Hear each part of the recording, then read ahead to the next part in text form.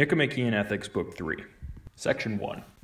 Since virtue is concerned with passions and actions, and on voluntary passions and actions, praise and blame are bestowed, on those that are involuntary, pardon, and sometimes also pity, to distinguish the voluntary and the involuntary, is presumably necessary for those who are studying the nature of virtue, and also useful for legislators with a view to the assigning both of honors and of punishments.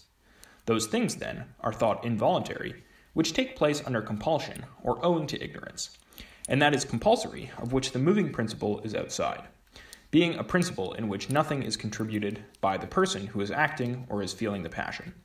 For example, if he were to be carried somewhere by a wind or by men who had him in their power.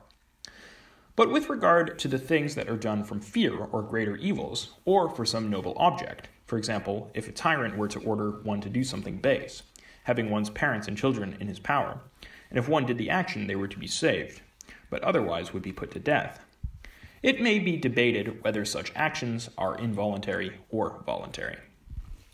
Something of the sort happens also with regard to the throwing of goods overboard in a storm. For in the abstract, no one throws goods away voluntarily. But on condition of its securing the safety of himself and his crew, any sensible man does so. Such actions, then, are mixed, but are more like voluntary actions, for they are worthy of choice at the time when they are done, and the end of an action is relative to the occasion. Both the terms, then, voluntary and involuntary, must be used with reference to the moment of action. Now, the man acts voluntarily, for the principle that moves the instrumental parts of the body in such actions is in him because it was in our power, however, to act in this way or not in this way. Therefore, the states are voluntary. And the things of which the moving principle is in a man himself are in his power to do or not to do. Such actions, therefore, are voluntary, but in the abstract, perhaps involuntary, for no one would choose any such act in itself. For such actions, men are sometimes even praised when they endure something base or painful in return for great and noble objects gained. In the opposite case, they are blamed. Since to endure the greatest indignities for no noble end or for a trifling end is the mark of an inferior person. On some actions, praise indeed is not bestowed, but pardon is. When one does what he ought not under pressure which overstrains human nature and which no one could withstand. But some acts, perhaps, we cannot be forced to do, but ought rather to face death after the most fearful sufferings. For the things that forced Euripides Alcmaeon to slay his mother seem absurd. It is difficult sometimes to determine what should be chosen at what cost, and what should be endured in return for what gain, and yet more difficult to abide by our decisions. For as a rule, what is expected is painful, and what we are forced to do is base. Whence praise and blame are bestowed on those who have been compelled or have not. What sorts of acts, then, should be called compulsory? We answer that without qualification, actions are so when the cause is in the external circumstances and the agent contributes nothing. But the things that in themselves are involuntary, but now and in return for these gains are worthy of choice, and whose moving principle is in the agent, are in themselves involuntary, but now and in return for these gains voluntary. They are more like voluntary acts, for actions are in the class of particulars, and the particular acts here are voluntary. What sorts of things are to be chosen, and in return for what, it is not easy to state, for there are many differences in the particular cases. But if someone were to say that pleasant and noble objects have a compelling power, forcing us from without, all acts would be for him compulsory. For it is for these objects that all men do everything they do. And those who act under compulsion and unwillingly act with pain. But those who do acts for their pleasantness and nobility do them with pleasure. It is absurd to make external circumstances responsible and not oneself, as being easily caught by such attractions, and to make oneself responsible for noble acts, but the pleasant objects responsible for base acts. The compulsory, then, seems to be that whose moving principle is outside, the person compelled contributing nothing. Everything that is done by reason of ignorance is not voluntary. It is only what produces pain and repentance that is involuntary. For the man who has done something owing to ignorance, and feels not the least vexation at his action, has not acted voluntarily, since he did not know what he was doing, nor yet involuntarily, since he is not pained. Of people, then, who act by reason of ignorance, he who repents is thought an involuntary agent, and the man who does not repent may, since he is different, be called a not voluntary agent. For since he differs from the other, it is better that he should have a name of his own. Acting by reason of ignorance seems also to be different from acting in ignorance. For the man who is drunk or in a rage is thought to act as a result not of ignorance, but of one of the causes mentioned, yet not knowingly, but in ignorance. Now, every wicked man is ignorant of what he ought to do and what he ought to abstain from. And it is by reason of error of this kind that men become unjust and in general bad. But the term involuntary tends to be used not if a man is ignorant of what is to his advantage, for it is not mistaken purpose that causes involuntary action, it leads rather to wickedness, nor ignorance of the universal, for that men are blamed, but ignorance of particulars.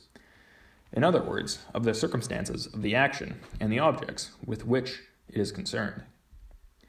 For it is on these that both pity and pardon depend since the person who is ignorant of any of these acts involuntarily. Perhaps it is just as well, therefore, to determine their nature and number. A man may be ignorant, then, of who he is, what he is doing, what or whom he is acting on, and sometimes also what, for example, what instrument, he is doing it with, and to what end. For example, he may think his act will conduce to someone's safety and how he is doing it, for example, whether gently or violently. Now, of all of these, no one could be ignorant unless he were mad, and evidently also he could not be ignorant of the agent, for how could he not know himself? But of what he is doing, a man might be ignorant, as for instance, people say it slipped out of their mouths as they were speaking, or they did not know it was a secret, as Aeschylus said of the mysteries. Or a man might say he let it go off when he merely wanted to show it's working, as the man did with the catapult. Again, one might think one's son was an enemy, as Merope did, or that a pointed spear had a button on it, or that a stone was pumice stone. Or one might give a man a drop to save him, and really kill him. Or one might want to touch a man, as people do in sparring, and really wound him. The ignorance may relate, then, to any of these things, in other words, of the circumstances of the action, and the man who is ignorant of any of these is thought to have acted involuntarily, especially if he was ignorant on the most important points. And these are thought to be the circumstances of the action and its end. Further, the doing of an act that is called involuntary in virtue of ignorance of this sort must be painful and involve repentance. Since that which is done under compulsion or by reason of ignorance is involuntary, the voluntary would seem to be that of which the moving principle is in the agent himself, he being aware of the particular circumstances of the action. Presumably, acts done by reason of anger or appetite are not rightly called involuntary. For in the first place, on that showing none of the other animals will act voluntarily, nor will children. And secondly, is it meant that we do not voluntarily do any of the acts that are due to appetite or anger, or that we do the noble acts voluntarily and the base acts involuntarily? Is not this absurd when one and the same thing is the cause? But it would surely be odd to describe as involuntary the things one ought to desire. And we ought both to be angry at certain things and to have an appetite for certain things, for example, for health and for learning.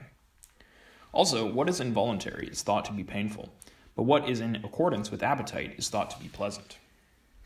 Again, what is the difference in respect of involuntariness between errors committed upon calculation and those committed in anger? Both are to be avoided, but the irrational passions are thought not less human than reason is. and therefore also the actions which proceed from anger or appetite are the man's actions. It would be odd then to treat them as involuntary. Section 2. Both the involuntary and the voluntary have been delimited. We must next discuss choice.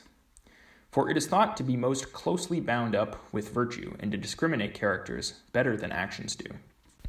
Choice, then, seems to be voluntary, but not the same thing as the voluntary. The latter extends more widely. For both children and the lower animals share in voluntary action, but not in choice. And acts done on the spur of the moment we describe as voluntary, but not as chosen. Those who say it is appetite or anger or wish or a kind of opinion do not seem to be right. For choice is not common to irrational creatures as well, but appetite and anger are.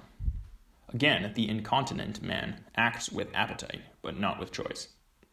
While the continent man, on the contrary, acts with choice, but not with appetite. Again, appetite is contrary to choice, but not appetite to appetite. Again, appetite relates to the pleasant and the painful, choice neither to the painful nor to the pleasant. Still less is it anger, for acts due to anger are thought to be less than any other objects of choice. But neither is it wish, though it seems near to it. For choice cannot relate to impossibles, and if anyone said he chose them, he would be thought silly. But there may be a wish even for impossibles, for example, for immortality. And wish may relate to things that could in no way be brought about by one's own efforts. For example, that a particular actor or athlete should win in a competition. But no one chooses such things, but only the things that he thinks could be brought about by his own efforts. Again, wish relates rather to the end, choice to the means. For instance, we wish to be healthy, but we choose the acts which will make us healthy. And we wish to be happy and say we do, but we cannot well say we choose to be so. For, in general, choice seems to relate to the things that are in our own power. For this reason, too, it cannot be opinion, for opinion is thought to relate to all kinds of things, no less to eternal things and impossible things than to things in our own power. And it is distinguished by its falsity or truth, not by its badness or goodness, while choice is distinguished rather by these. Now, with opinion in general, perhaps no one even says it is identical. But it is not identical, even with any kind of opinion. For by choosing what is good or bad, we are men of a certain character, which we are not by holding certain opinions. And we choose to get or avoid something good or bad, but we have opinions about what a thing is, or whom it is good for, or how it is good for him. We can hardly be said to opine, to get or avoid anything and a choice is praised for being related to the right object rather than for being rightly related to it. Opinion for being truly related to its object. And we choose what we best know to be good, but we opine what we do not quite know. And it is not the same people that are thought to make the best choices and to have the best opinions, but some are thought to have fairly good opinions, but by reason of vice to choose what they should not. If opinion precedes choice or accompanies it, that makes no difference, for it is not this that we are considering, but whether it is identical with some kind of opinion. What, then, or what kind of thing is it, since it is none of the things we have mentioned? It seems to be voluntary, but not all that is voluntary to be an object of choice. Is it, then, what has been decided on by previous deliberation? At any rate, choice involves a rational principle and thought. Even the name seems to suggest that it is what is chosen before other things. Section 3. Do we deliberate about everything? And is everything a possible subject of deliberation? Or is deliberation impossible about some things? We ought presumably to call not what a fool or a madman would deliberate about, but what a sensible man would deliberate about, a subject of deliberation. Now, about eternal things, no one deliberates. For example, about the material universe or the incommensurability of the diagonal and the side of a square. But no more do we deliberate about the things that involve movement, but always happen in the same way, whether of necessity, or by nature, or from any other cause. For example, the solstices and the risings of the stars. Nor about things that happen now in one way, now in another. For example, droughts and rains. Nor about chance events, like the finding of treasure. But we do not deliberate even about all human affairs. For instance, no Spartan deliberates about the best constitution for the Scythians. For none of these things can be brought about by our own efforts. We deliberate about things that are in our power and can be done, and these are, in fact, what is left. For nature, necessity and chance are thought to be causes, and also reason and everything that depends on man. Now, every class of men deliberates about the things that can be done by their own efforts. And in the case of exact and self contained sciences, there is no deliberation. For example, about the letters of the alphabet, for we have no doubt how they should be written. But the things that are brought about by our own efforts, but not always in the same way, are the things about which we deliberate. For example, questions of medical treatment or of money making.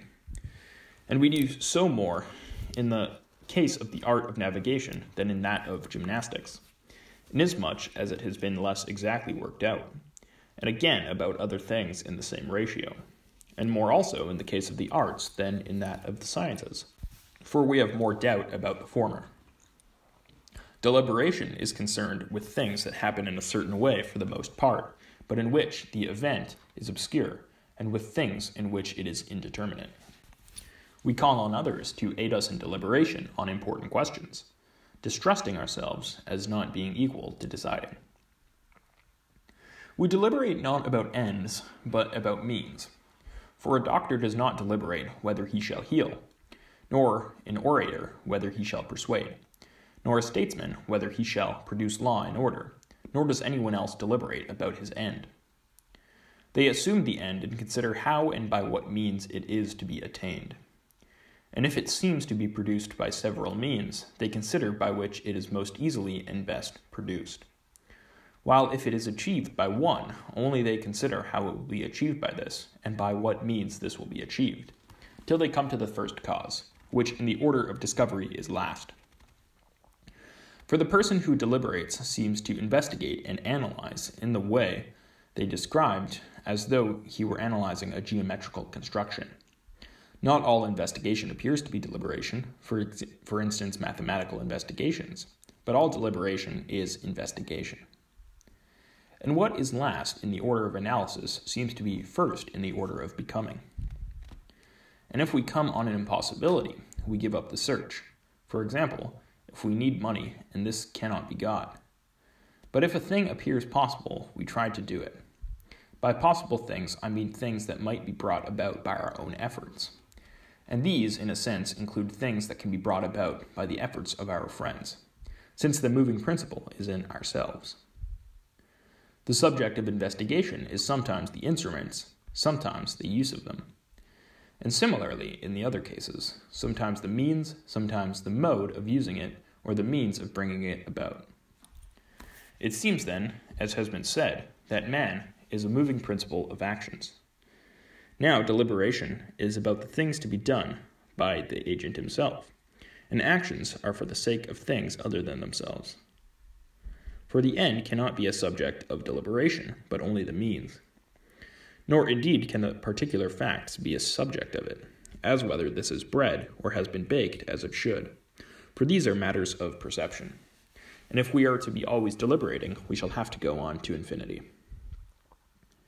The same thing is deliberated upon and is chosen, except that the object of choice is already determinate, since it is that which has been decided upon as a result of deliberation that is the object of choice. For everyone ceases to inquire how he is to act when he has brought the moving principle back to himself, and to the ruling part of himself, for this is what chooses. This is plain also from the ancient constitutions, which Homer represented for the kings announced their choices to the people. The object of choice being one of the things in our own power which is desired after deliberation, Choice will be deliberate desire of things in our own power. For when we have decided as a result of deliberation, we desire in accordance with our deliberation. We may take it then that we have described choice in outline and stated the nature of its objects and the fact that it is concerned with means.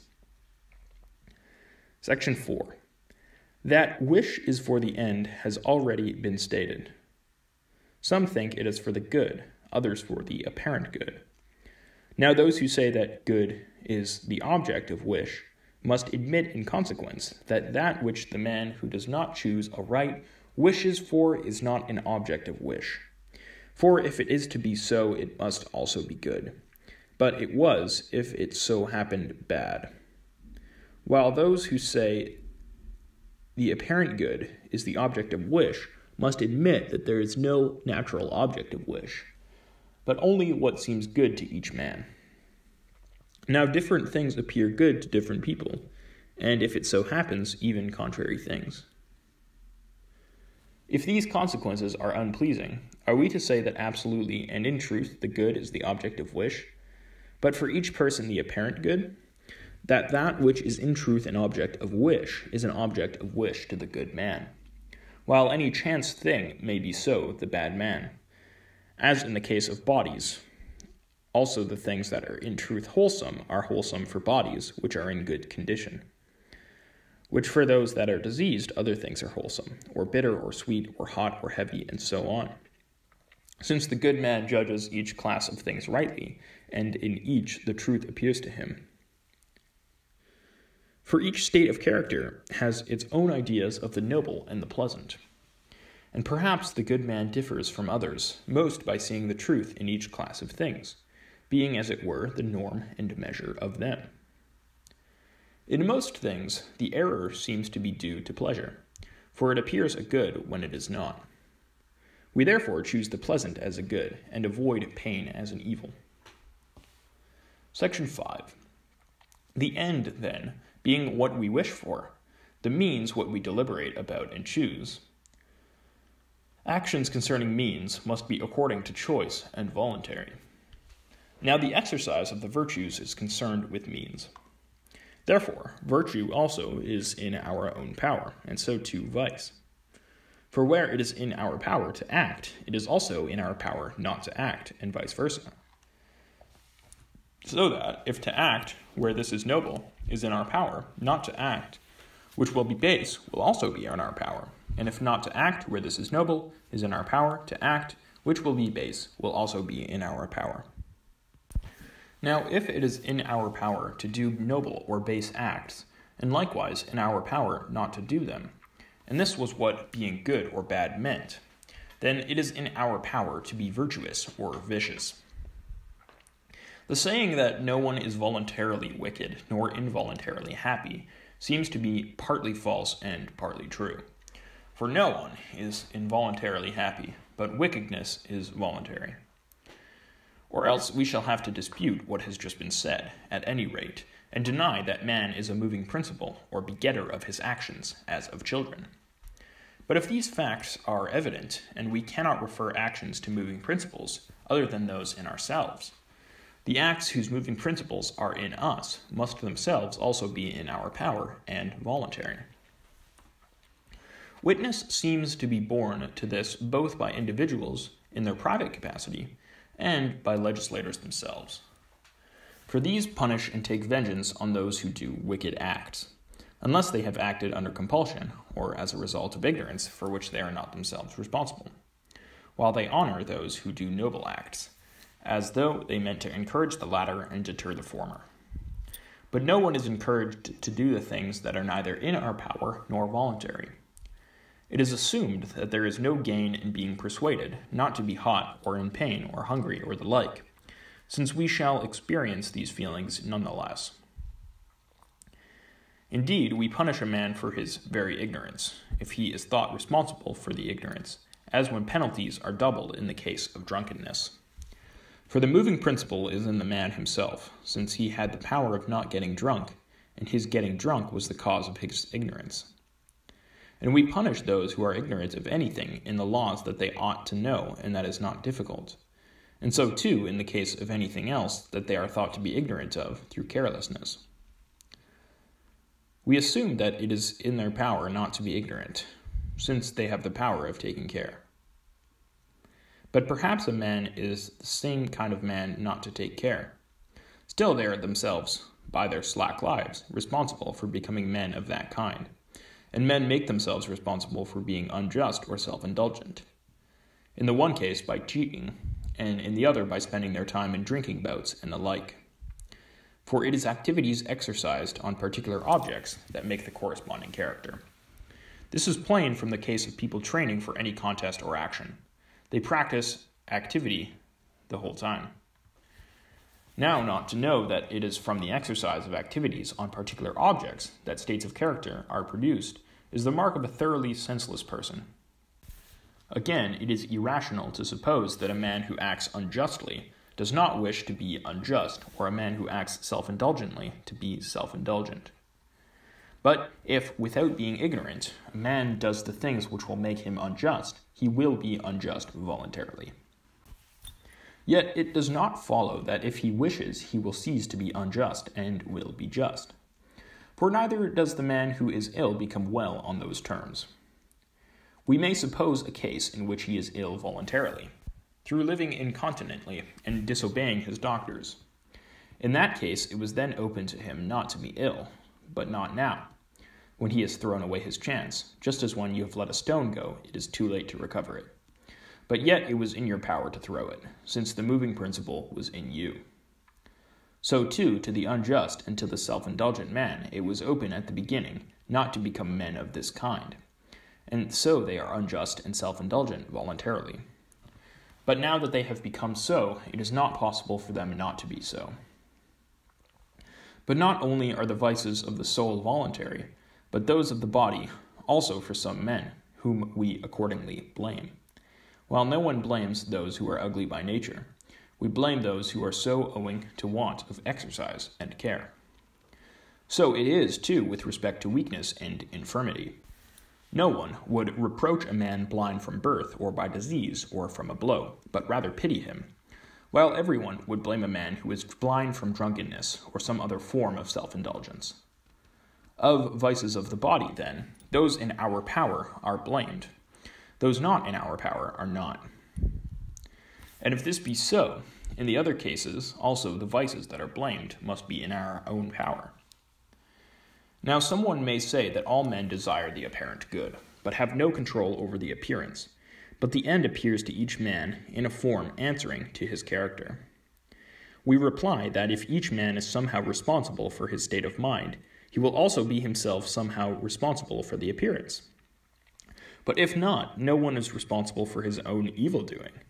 But everyone does evil acts through ignorance of the end, thinking that by these he will get what is best and the aiming at that end is not self chosen, but one must be born with an eye, as it were, by which to judge rightly and choose what is truly good.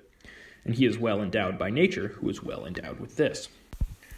For it is what is greatest and most noble, and what we cannot get or learn from another, but must have just such as it was when given us at birth. And to be well and nobly endowed with this will be perfect, and true excellence of natural endowment. If this is true, then, how will virtue be more voluntary than vice? To both men alike, the good and the bad, the end appears and is fixed by nature or however it may be, and it is by referring everything else to this that men do whatever they do. Whether, then, it is not by nature that the end appears to each man, such as it does appear, but something also depends on him, or the end is natural, but because the good man adopts the means voluntarily, virtue is voluntary, Vice also will be nonetheless voluntary.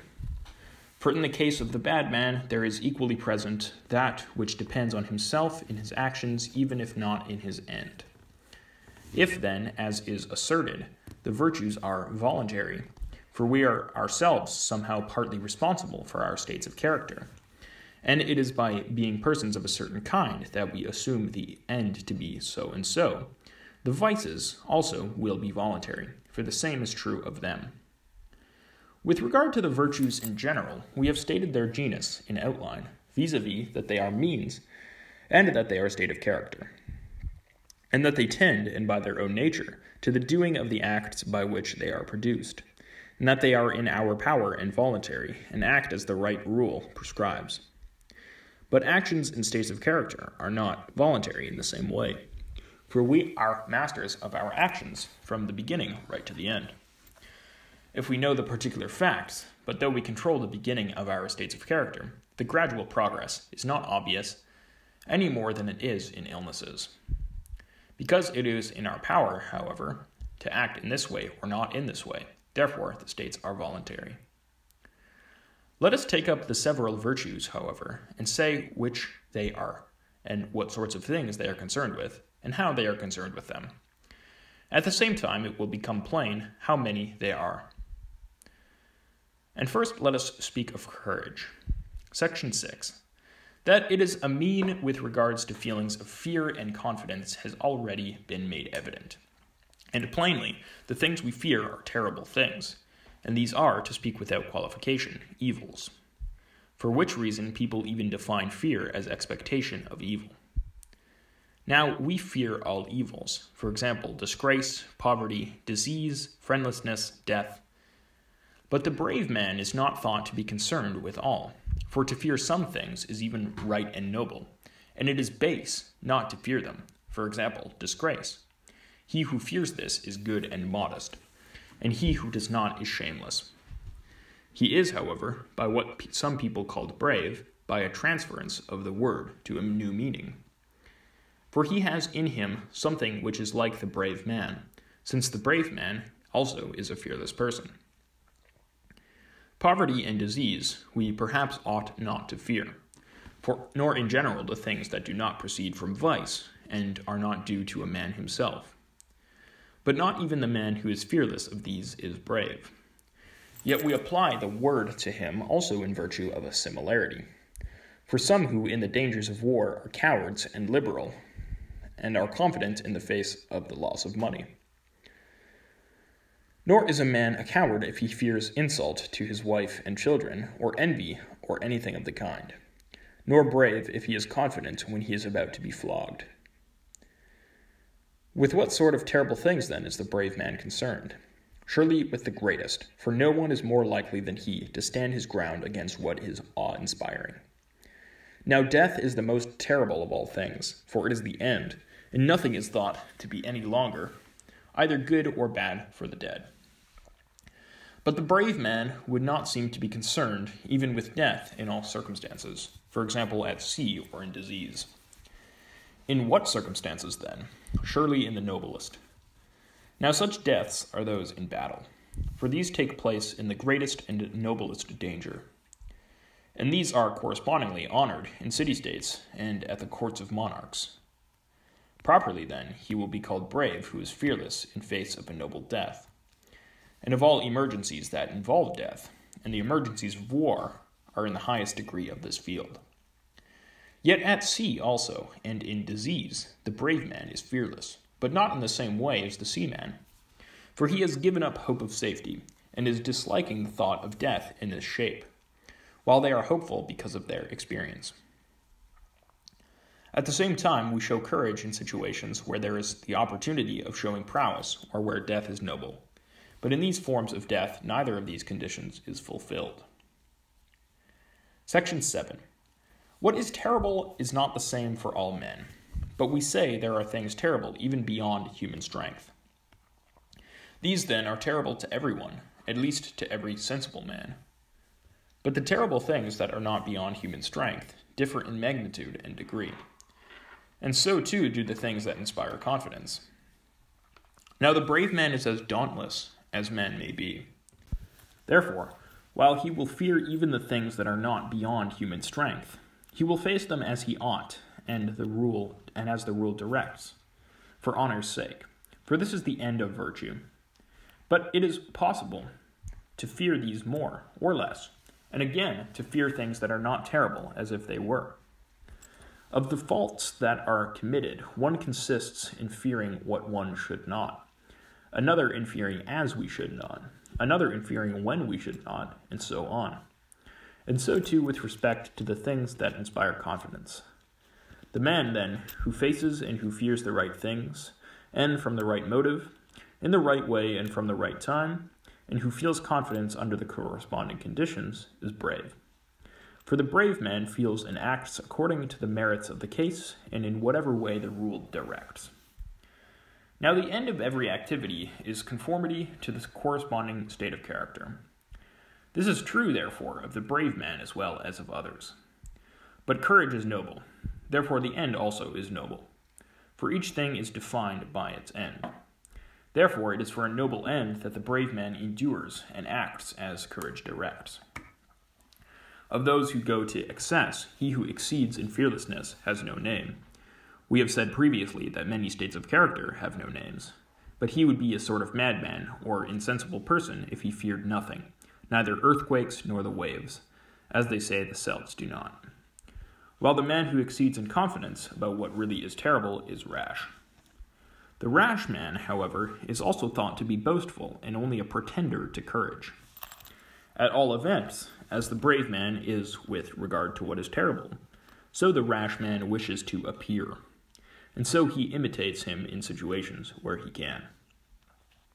Hence, also, most of them are a mixture of rashness and cowardice.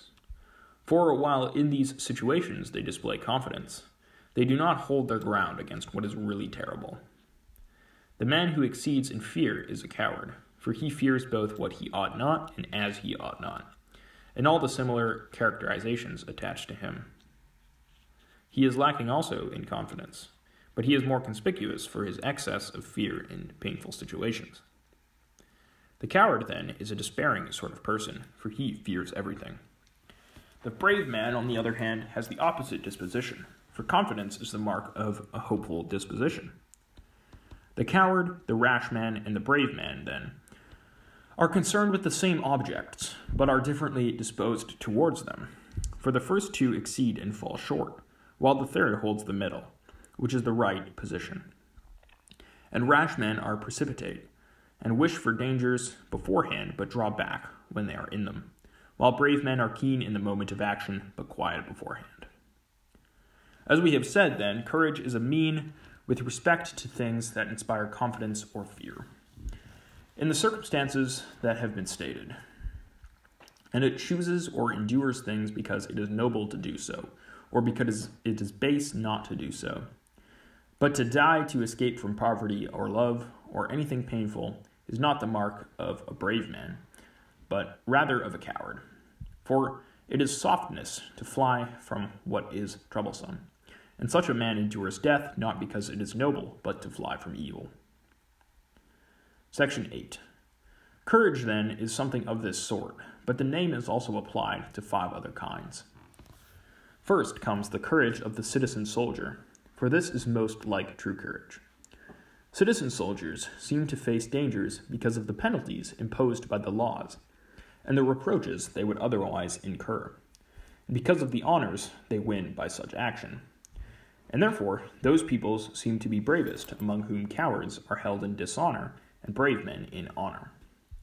This is the kind of courage that Homer depicts, for example, in Diomede and in Hector. First will Polydamas be to heap reproach on me then. And for Hector one day mid the Trojans shall utter his vaulting harangue. Afraid was Tydides and fled from my face. This kind of courage is most like to that which we described earlier, because it is due to virtue. For it is due to shame and to desire of a noble object, in other words, honor, and avoidance of disgrace, which is ignoble. One might rank in the same class even those who are compelled by their rulers. But they are inferior, inasmuch as they do what they do not from shame, but from fear, and to avoid not what is disgraceful, but what is painful, for their masters compel them, as Hector does. But if I shall spy any dastard who cowers far from the fight, vainly will such an one hope to escape from the dogs. And those who give them their posts and beat them if they retreat do the same and so do those who draw them up with trenches or something of the sort behind them. All of these apply compulsion. But one ought to be brave not under compulsion, but because it is noble to do so. 2. Experience with regard to particular facts is also thought to be courage. This is indeed the reason why Socrates thought courage was knowledge.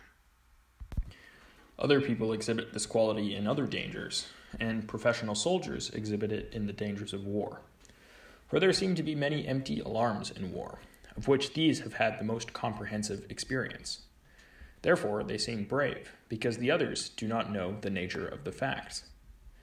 Again, their experience makes them most capable in attack and in defense, since they can use their arms and have the kind that are likely to be best both for attack and for defense. Therefore, they fight like armed men against unarmed, or like trained athletes against amateurs. For in such contests, too, it is not the bravest men that fight best, but those who are strongest and have their bodies in the best condition. Professional soldiers turn cowards, however, when the danger puts too great a strain on them and they are inferior in numbers and equipment. For they are the first to fly, while citizen forces die at their posts, as in fact happened at the Temple of Hermes. For to the latter, flight is disgraceful, and death is preferable to safety on those terms. While the former, from the very beginning, faced the danger on the assumption that they were stronger and when they know the facts, they fly, fearing death more than disgrace. But the brave man is not that sort of person. 3. Passion also is sometimes reckoned as courage. Those who act from passion, like wild beasts rushing at those who have wounded them, are thought to be brave, because brave men also are passionate. For passion, above all things, is eager to rush on danger. And hence Homer's put strength into his passion, and aroused their spirit and passion, and hard he breathed panting, and his blood boiled. For all such expressions seem to indicate the stirring and onset of passion. Now, brave men act for honor's sake, but passion aids them, while wild beasts act under the influence of pain, for they attack because they have been wounded or because they are afraid. Since if they are in a forest, they do not come near one. Thus, they are not brave because, driven by pain and passion, they rush on danger without foreseeing any of the perils. Since at that rate, even asses would be brave when they are hungry, for blows will not drive them from their food. And lust also makes adulterers do many daring things. Those creatures are not brave, then, which are driven on to danger by pain or passion. The courage that is due to passion seems to be the most natural and to be courage if choice and motive be added. Men, then, as well as beasts, suffer pain when they are angry, and are pleased when they exact their revenge. Those who fight for these reasons, however, are pugnacious but not brave, for they do not act for honor's sake, nor as the rule directs, but from strength of feeling. They have, however, something akin to courage. 4. Nor are sanguine people brave, for they are confident in danger only because they have conquered often and against many foes. Yet they closely resemble brave men because both are confident, but brave men are confident for the reasons stated earlier, while these are so because they think they are the strongest and can suffer nothing. Drunken men also behave in this way, they become sanguine. When their adventures do not succeed, however, they run away, but it was the mark of a brave man to face things that are and seem terrible for a man, because it is noble to do so and disgraceful not to do so. Hence, also, it is thought the mark of a braver man to be fearless and undisturbed in sudden alarms than to be so in those that are foreseen. For it must have proceeded from uh, more from a state of character, because less from preparation. Acts that are foreseen may be chosen by calculation and rule, but sudden actions must be in accordance with one's state of character. 5. People who are ignorant of the danger also appear brave, and they are not far removed from those of a sanguine temper, but are inferior inasmuch as they have no self reliance, while these have. Hence also the sanguine hold their ground for a time. But those who have been deceived about the facts fly if they know or suspect that these are different from what they supposed as happened to the Argives when they fell in with the Spartans and took them for Sicyonians. We have then described the character both of brave men and of those who are thought to be brave. Section 9. Though courage is concerned with feelings of confidence and of fear, It is not concerned with both alike, but more with the things that inspire fear. For he who is undisturbed in face of these, and bears himself as he should towards these, is more truly brave than the man who does so towards the things that inspire confidence. It is for facing what is painful, then, as has been said, that men are called brave. Hence also courage involves pain, and is justly praised. For it is harder to face what is painful than to abstain from what is pleasant. Yet the end which courage sets before it would seem to be pleasant, but to be concealed by the attending circumstances, as happens also in athletic contests. For the end at which boxers aim is pleasant, the crown and the honors, but the blows they take are distressing to flesh and blood, and painful, and so is their whole exertion. And because the blows and the exertions are many the end, which is but small, appears to have nothing pleasant in it. And so, if the case of courage is similar, death and wounds will be painful to the brave man and against his will, but he will face them because it is noble to do so or because it is base not to do so. And the more he is possessed of virtue in its entirety, and the happier he is, the more he will be pained at the thought of death. For life is best worth living for such a man, and he is knowingly losing the greatest goods, and this is painful. But he is none the less brave, and perhaps all the more so, because he chooses noble deeds of war at that cost. It is not the case, then, with all the virtues, that the exercise of them is pleasant, except insofar as it reaches its end. But it is quite possible that the best soldiers may be not men of this sort, but those who are less brave but have no other good for these are ready to face danger, and they sell their life for trifling gains. So much then for courage. It is not difficult to grasp its nature in outline, at any rate from what has been said. Section 10. After courage, let us speak of temperance, for these seem to be the virtues of the irrational parts. We have said that temperance is a mean with regards to pleasure, for it is less and not in the same way concerned with pains. Self indulgence also is manifested in the same sphere. Now, therefore, let us determine with what sort of pleasures they are concerned. We may assume the distinction between bodily pleasures and those of the soul, such as love of honor and love of learning. For the lover of each of these delights in that of which he is a lover, the body being in no way affected, but rather the mind.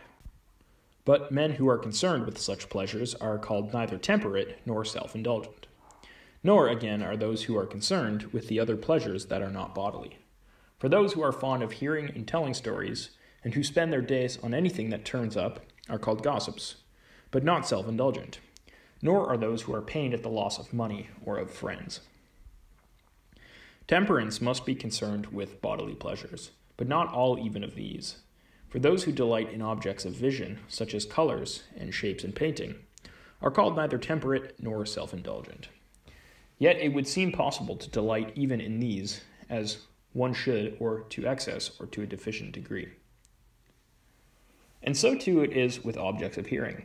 No one calls those who delight extravagantly in music or acting self indulgent, nor those who do so as they ought temperate.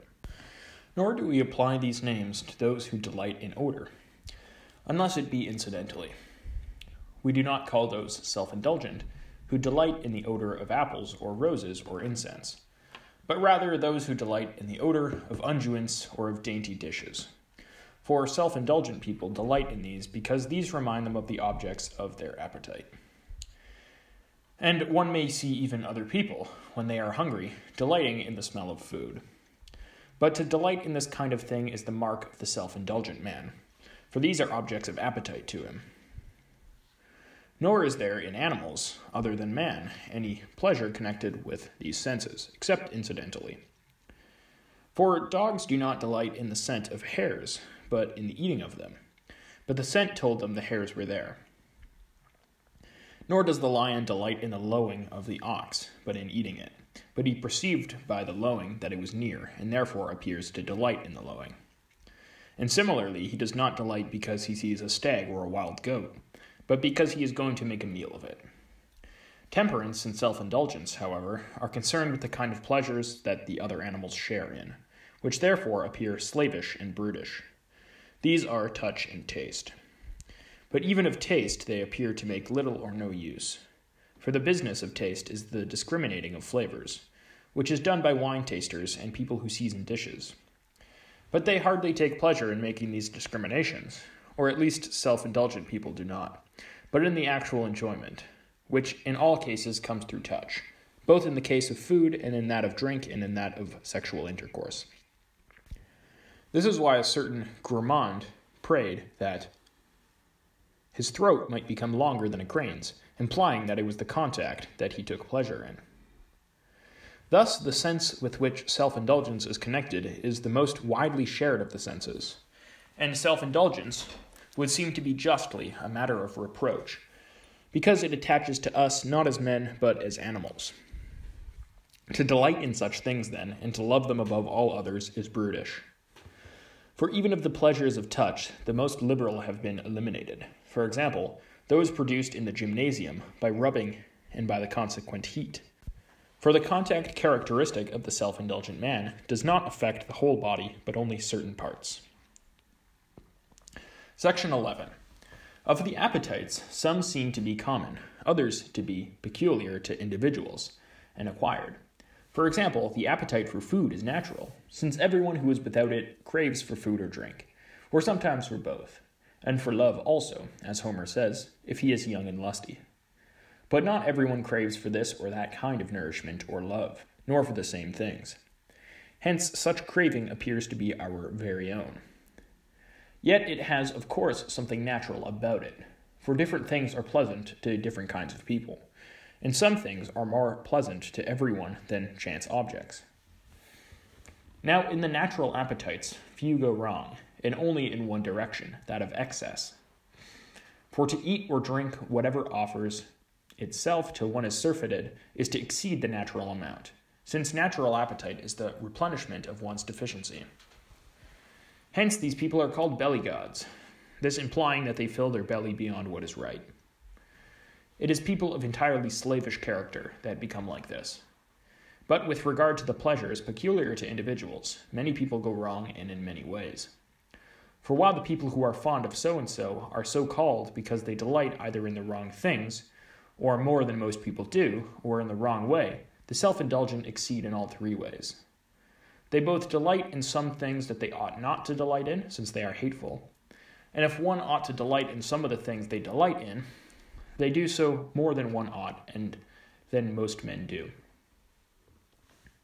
Plainly, then, excess with regard to pleasures is self indulgence and is culpable.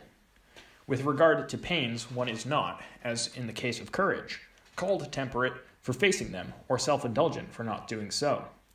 But the self indulgent man is so called because he is pained more than he ought at not getting pleasant things, even his pain being caused by pleasure. And the temperate man is so called because he is not pained at the absence of what is pleasant, and at his abstinence from it. The self indulgent man, then, craves for all pleasant things, or those that are most pleasant, and is led by his appetite to choose these at the cost of everything else.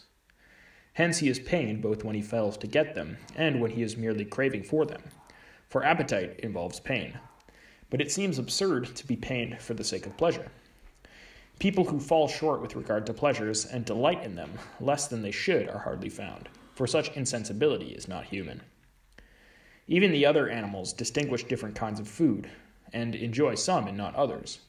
And if there is anyone who finds nothing pleasant and nothing more attractive than anything else, he must be something quite different from a man.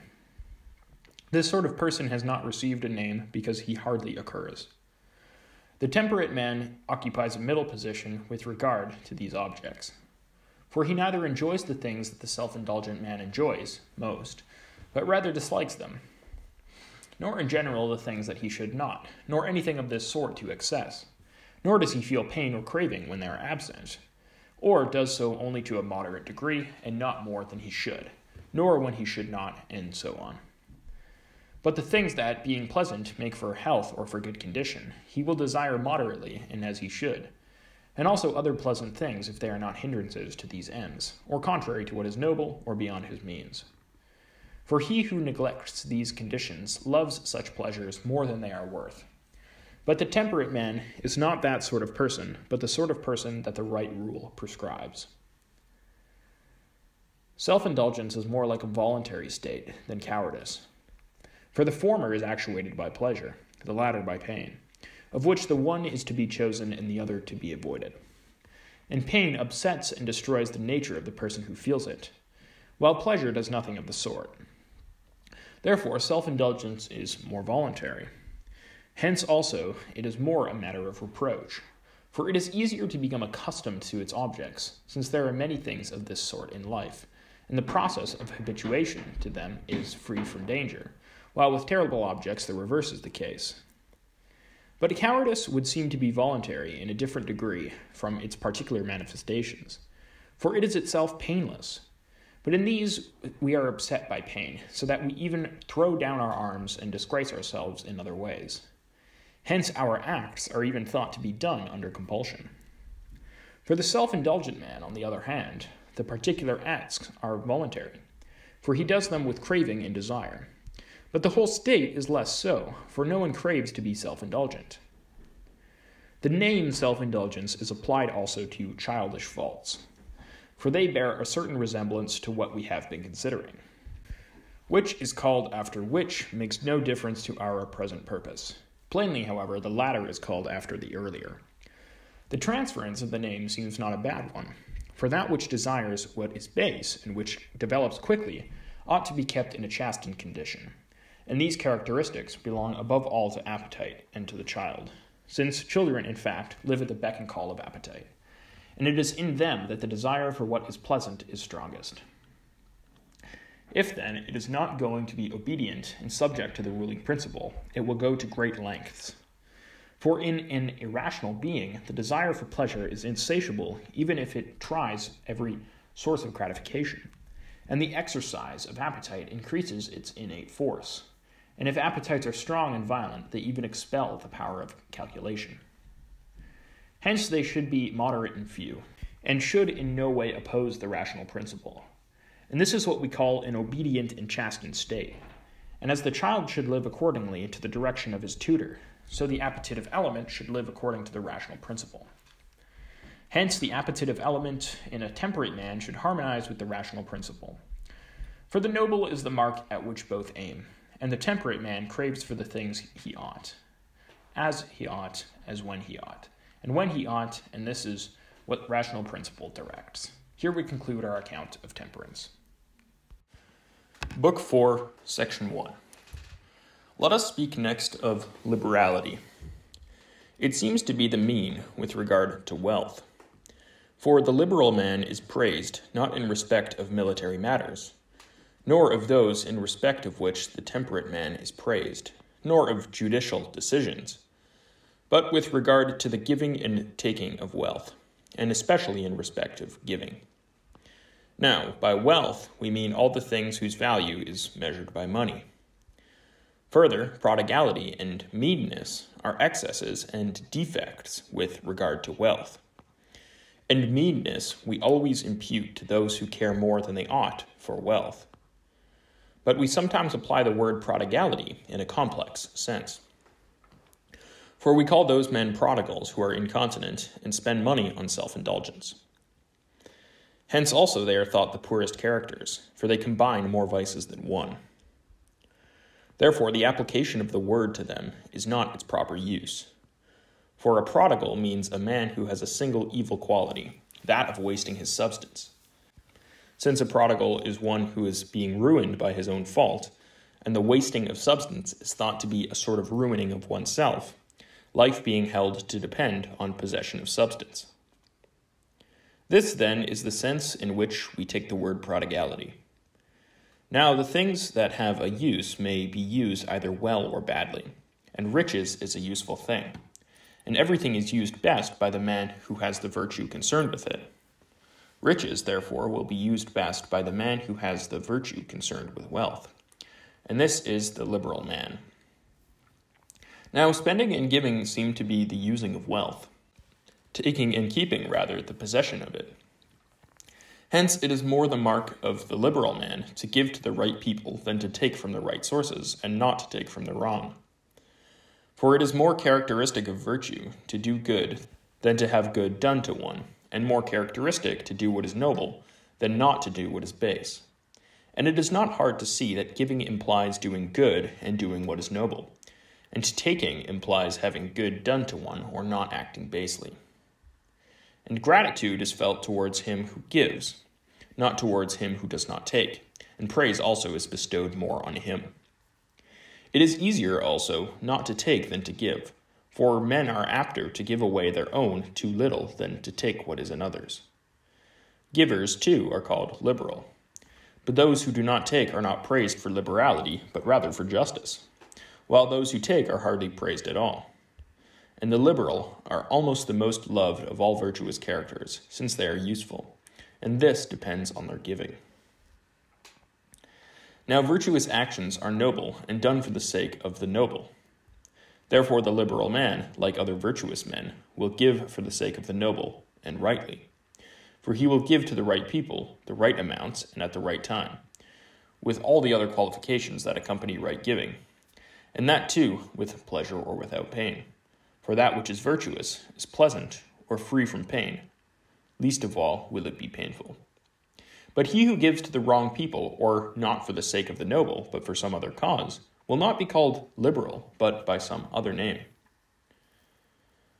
Nor is he liberal who gives with pain for he would prefer the wealth to the noble act, and this is not characteristic of a liberal man.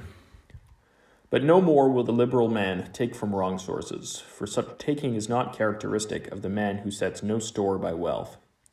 Nor will he be a ready asker, for it is not characteristic of a man who confers benefits to accept them lightly. But he will take from the right sources, for example, from his own possessions, not as something noble, but as a necessity, that he may have something to give nor will he neglect his own property, since he wishes by means of this to help others. And he will refrain from giving to anybody and everybody, that he may have something to give to the right people at the right time and where it is noble to do so. It is highly characteristic of a liberal man also to go to excess in giving, so that he leaves too little for himself, for it is the nature of a liberal man not to look to himself. The term liberality is used relatively to a man's substance, for liberality resides not in the multitude of the gifts, but in the state of character of the giver. And this is relative to the giver's substance. There is therefore nothing to prevent the man who gives less from being the more liberal man. If he has less to give, those are thought to be more liberal who have not made their wealth, but inherited it. For in the first place, they have no experience of want, and secondly, all men are fonder of their own productions, as are parents and poets. It is not easy for the liberal man to be rich, since he is not apt either at taking or at keeping, but at giving away, and does not value wealth for its own sake, but as a means of giving. Hence comes the charge that is brought against fortune, that those who deserve riches most get it least. But it is not unreasonable that it should turn out so, for he cannot have wealth, any more than anything else, if he does not take pains to have it. Yet he will not give to the wrong people, nor at the wrong time, and so on. For he would no longer be acting in accordance with liberality. And if he spent on these objects, he would have nothing to spend on the right objects. For, as has been said, he is liberal who spends according to his substance and on the right objects, and he who exceeds is prodigal. Hence, we do not call despots prodigal, for it is thought not easy for them to give and spend beyond the amount of their possessions. Liberality, then, being a mean with regard to giving and taking of wealth, the liberal man will both give and spend the right amounts and on the right objects, alike in small things and in great, and that with pleasure. He will also take the right amounts and from the right sources. For the virtue being a mean with regard to both, he will do both as he ought. Since this sort of taking accompanies proper giving, and that which is not of this sort is contrary to it, and accordingly, the giving and taking that accompany each other are present together in the same man, while the contrary kinds evidently are not. But if he happens to spend in a manner contrary to what is right and noble, he will be pained, but moderately and as he ought. For it is the mark of virtue both to be pleased and to be pained at the right objects and in the right way. Further, the liberal man is easy to deal with in money matters, for he can be got the better of, since he sets no store by money, and is more annoyed if he has not spent something that he ought than pained if he has spent something that he ought not. And does not agree with the saying of Simonides. The prodigal errs in these respects also, for he is neither pleased nor pained at the right things or in the right way. This will be more evident as we go on. We have said that prodigality and meanness are excesses and deficiencies, and in two things, in giving and in taking. For we include spending under giving.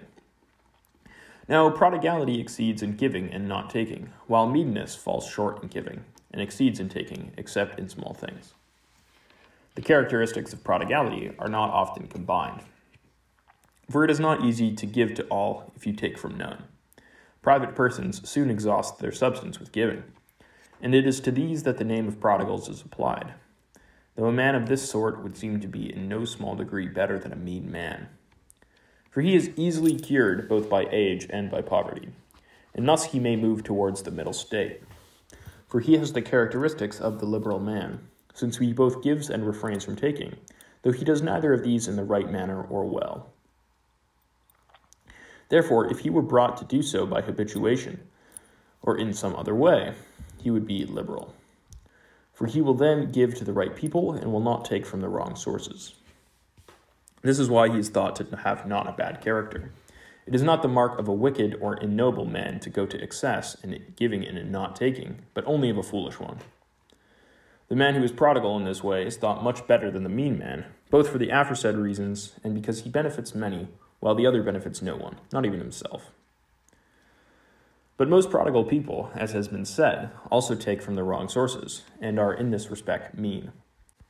They become apt to take because they wish to spend and cannot do this easily, for their possessions soon run short. Thus, they are forced to provide means from some other source. At the same time, because they care nothing for honor, they take recklessly and from any source. For they have an appetite for giving, and they do not mind how or from what source. Hence also their giving is not liberal, for it is not noble, nor does it aim at nobility, nor is it done in the right way. Sometimes they make rich those who should be poor, and will give nothing to people of respectable character, and much to flatterers are those who provide them with some other pleasure. Hence also most of them are self indulgent, for they spend lightly and waste money on their indulgences, and incline towards pleasures, because they do not live with a view to what is noble. The prodigal man, then, turns into what we have described if he is left untutored. But if he is treated with care, he will arrive at the intermediate and right state. But meanness is both un- incurable, for old age and every disability is thought to make men mean, and more innate in men than prodigality. For most men are fonder of getting money than of giving. It also extends widely and is multiform, since there seem to be many kinds of meanness. For it consists in two things deficiency in giving, and excess in taking, and is not found complete in all men, but is sometimes divided. Some men go to excess in taking, others fall short in giving. Those who are called by such names are miserly, close, stingy, all fall short in giving, but do not covet the possessions of others, nor wish to get them. In some, this is due to a sort of honesty and avoidance of what is disgraceful, for some seem, or at least profess, to hoard their money for this reason that they may not someday be forced to do something disgraceful. To this class belong the cheese parer and every one of the sort. He is so called from his excess of unwillingness to give anything. While others, again, keep their hands off the property of others from fear, on the ground that it is not easy, if one takes the property of others oneself, to avoid having one's own taken by them. They are therefore content neither to take nor to give. Others, again, exceed in respect of taking, by taking anything and from any source. For example, those who ply sordid trades, pimps, and all such people, and those who lend small sums and at high rates. For all of these take more than they ought, from wrong sources. What is common to them is evidently sordid love of gain. They all put up with a bad name for the sake of gain, and little gain at that. For those who make great gains, but from wrong sources, and not the right gains, for example, despots, when they sack cities and spoil temples, we do not call mean, but rather wicked, impious, and unjust. But the gamester and the footpad and the highwayman belong to the class of the mean, since they have a sordid love of gain. For it is for gain that both of them ply their craft and endure the disgrace of it. And the one faces the greatest dangers for the sake of the booty, while the other makes gain from his friends, to whom he ought to be giving. Both, then, since they are willing to make gain from wrong sources, are sordid lovers of gain. Therefore, all such forms of taking are mean. And it is natural that meanness is described as the contrary of liberality. For not only is it a greater evil than prodigality, but men err more often in this direction than in the way of prodigality, as we have described it. So much then for liberality and the opposed vices. Section 2. It would seem proper to discuss magnificence next, for this also seems to be a virtue concerned with wealth. But it does not, like liberality, extend to all the actions that are concerned with wealth, but only to those that involve expenditure. And in these it surpasses liberality in scale. For, as the name itself suggests, it is a fitting expenditure involving largeness of scale. But the scale is relative, for the expense of equipping a trireme is not the same as that of heading a sacred embassy. It is what is fitting, then, in relation to the agent and to the circumstances and the object. The man who in small or middling things spends according to the merits of the case is not called magnificent. For example, the man who can say, Many a gift I gave the wanderer, but only the man who does so in great things. For the magnificent man is liberal, but the liberal man is not necessarily magnificent. The deficiency of this state of character is called niggardliness, the excess vulgarity, lack of taste, and the like, which do not go to excess in the amount spent on right objects, but by showy expenditure in the wrong circumstances and the wrong matter. We shall speak of these vices later. The magnificent man is like an artist, for he can see what is fitting and spend large sums tastefully. For as we said at the beginning, state of character is determined by its activities and by its objects. Now the expenses of the magnificent man are large and fitting. Such, therefore, are also his results. For thus there will be a great expenditure and one that is fitting to its result. Therefore, the result should be worthy of the expense, and the expense should be worthy of the result or should even exceed it. And the magnificent man will spend such sums for honor's sake, for this is common to the virtues. And further, he will do so gladly and lavishly, for nice calculation is a niggardly thing.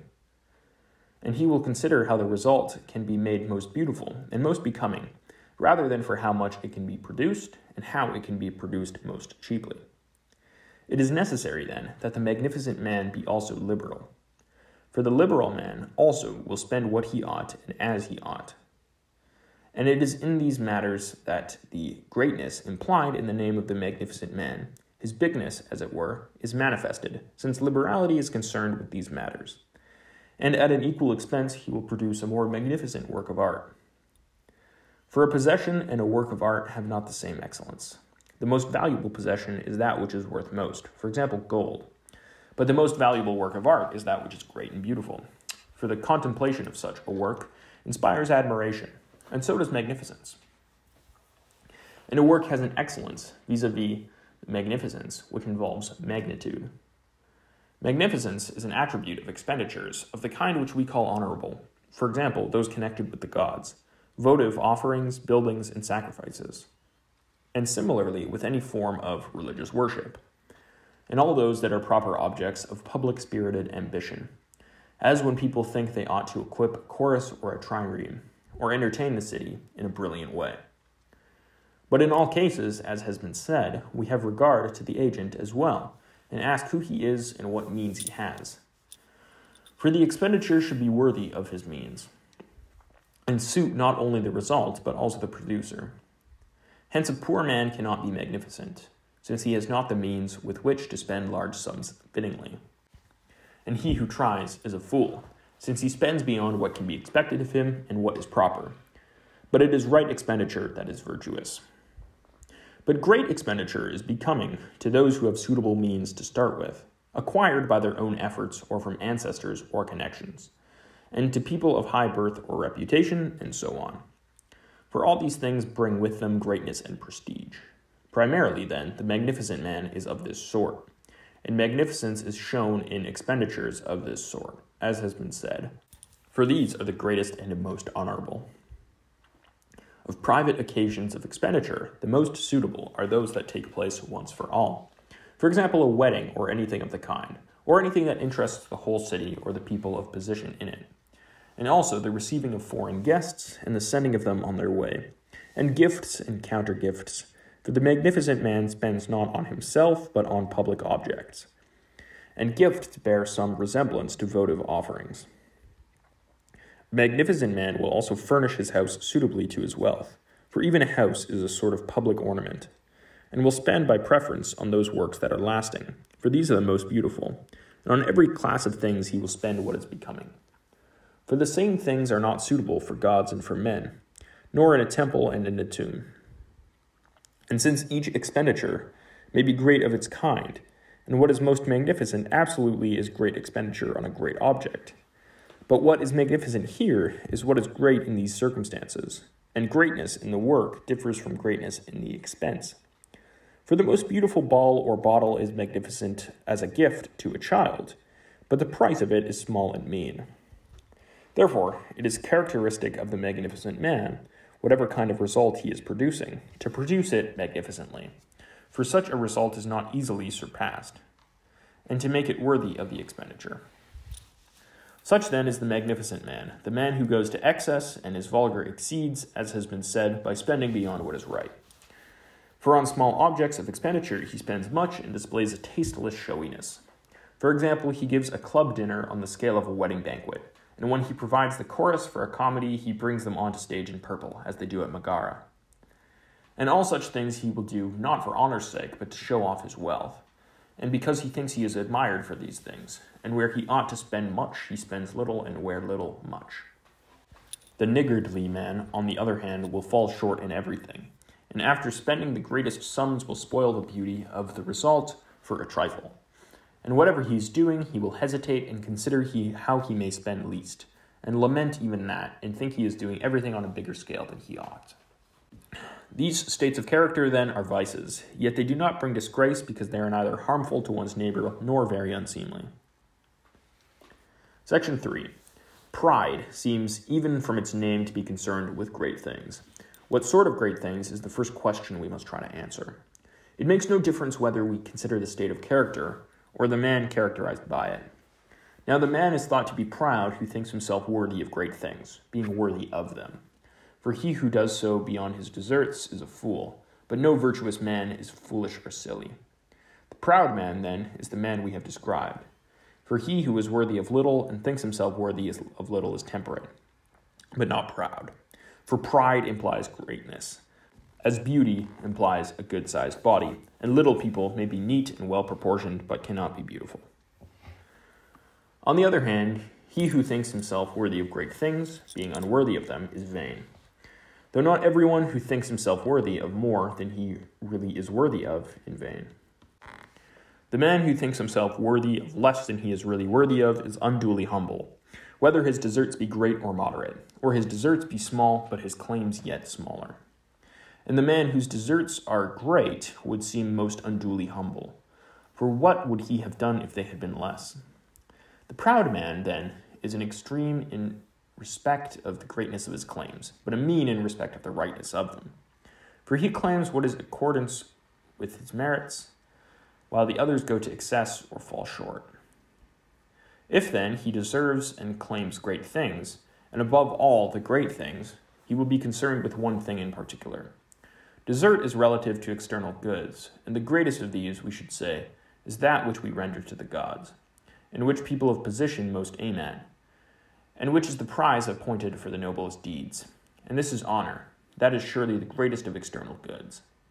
Honors and dishonors, therefore, are the objects with respect to which the proud man is as he should be. And even apart from argument, it is with honor that proud men appear to be concerned. For it is honor that they chiefly claim, but in accordance with their deserts. The unduly humble man falls short both in comparison with his own merits and in comparison with the proud man's claims. The vain man goes to excess in comparison with his own merits, but does not exceed the proud man's claims. Now, the proud man, since he deserves most, must be good in the highest degree. For the better man always deserves more, and the best man most. Therefore, the truly proud man must be good, and greatness in every virtue would seem to be characteristic of a proud man. And it would be most unbecoming for a proud man to fly from danger, swinging his arms by his sides, or to wrong another. For to what end should he do disgraceful acts, he to whom nothing is great? If we consider him point by point, we shall see the utter absurdity of a proud man who is not good. Nor again would he be worthy of honor if he were bad. For honor is the prize of virtue, and it is to the good that it is rendered. Pride, then, seems to be a sort of crown of the virtues, for it makes them greater, and it is not found without them. Therefore, it is hard to be truly proud, for it is impossible without nobility and goodness of character. It is chiefly with honors and dishonors, then, that the proud man is concerned. And honors that are great and conferred by good men he will be moderately pleased, thinking that he is coming by his own or even less than his own. For there can be no honor that is worthy of perfect virtue. Yet he will at any rate accept it, since they have nothing greater to bestow on him. But honor from casual people and on trifling grounds he will utterly despise since it is not this that he deserves, and dishonor too, since in his case it cannot be just. In the first place, then, as has been said, the proud man is concerned with honors. Yet he will also bear himself with moderation towards wealth and power and all good or evil fortune, whatever may befall him, and will be neither overjoyed by good fortune nor overpained by evil. For not even towards honor does he bear himself as if it were a very great thing. Power and wealth are desirable for the sake of honor. At least those who have them wish to get honor by means of them. And for him, to whom even honor is a little thing, the others must be so too. Hence, proud men are thought to be disdainful. The goods of fortune also are thought to contribute towards pride. For men who are well born are thought worthy of honor, and so are those who enjoy power or wealth, for they are in a superior position and everything that has a superiority in something good is held in greater honor. Hence, even such things make men prouder, for they are honored by some for having them. But in truth, the good man alone is to be honored. He, however, who has both advantages is thought the more worthy of honor. But those who, without virtue, have such goods are neither justified in making great claims nor entitled to the name of proud. For these things imply perfect virtue.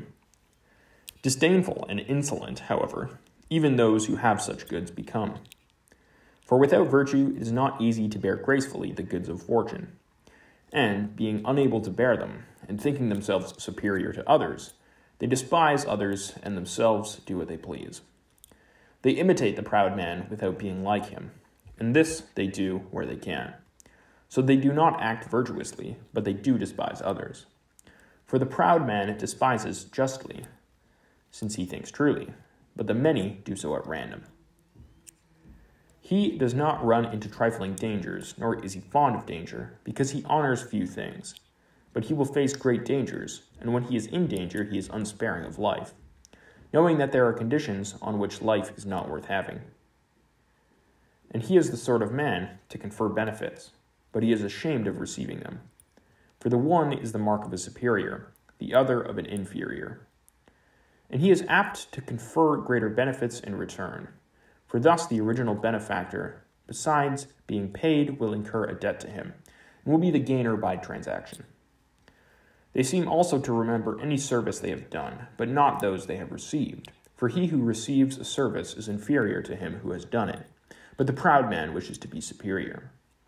And to hear of the former with pleasure, of the latter with displeasure. This, it seems, is why Thetis did not mention to Zeus the services she had done him, and why the Spartans did not recount their services to the Athenians, but those that they had received. It is a mark of the proud man also to ask for nothing or scarcely anything, but to give help readily, and to be dignified towards people who enjoy high position and good fortune, but unassuming towards those of the middle class.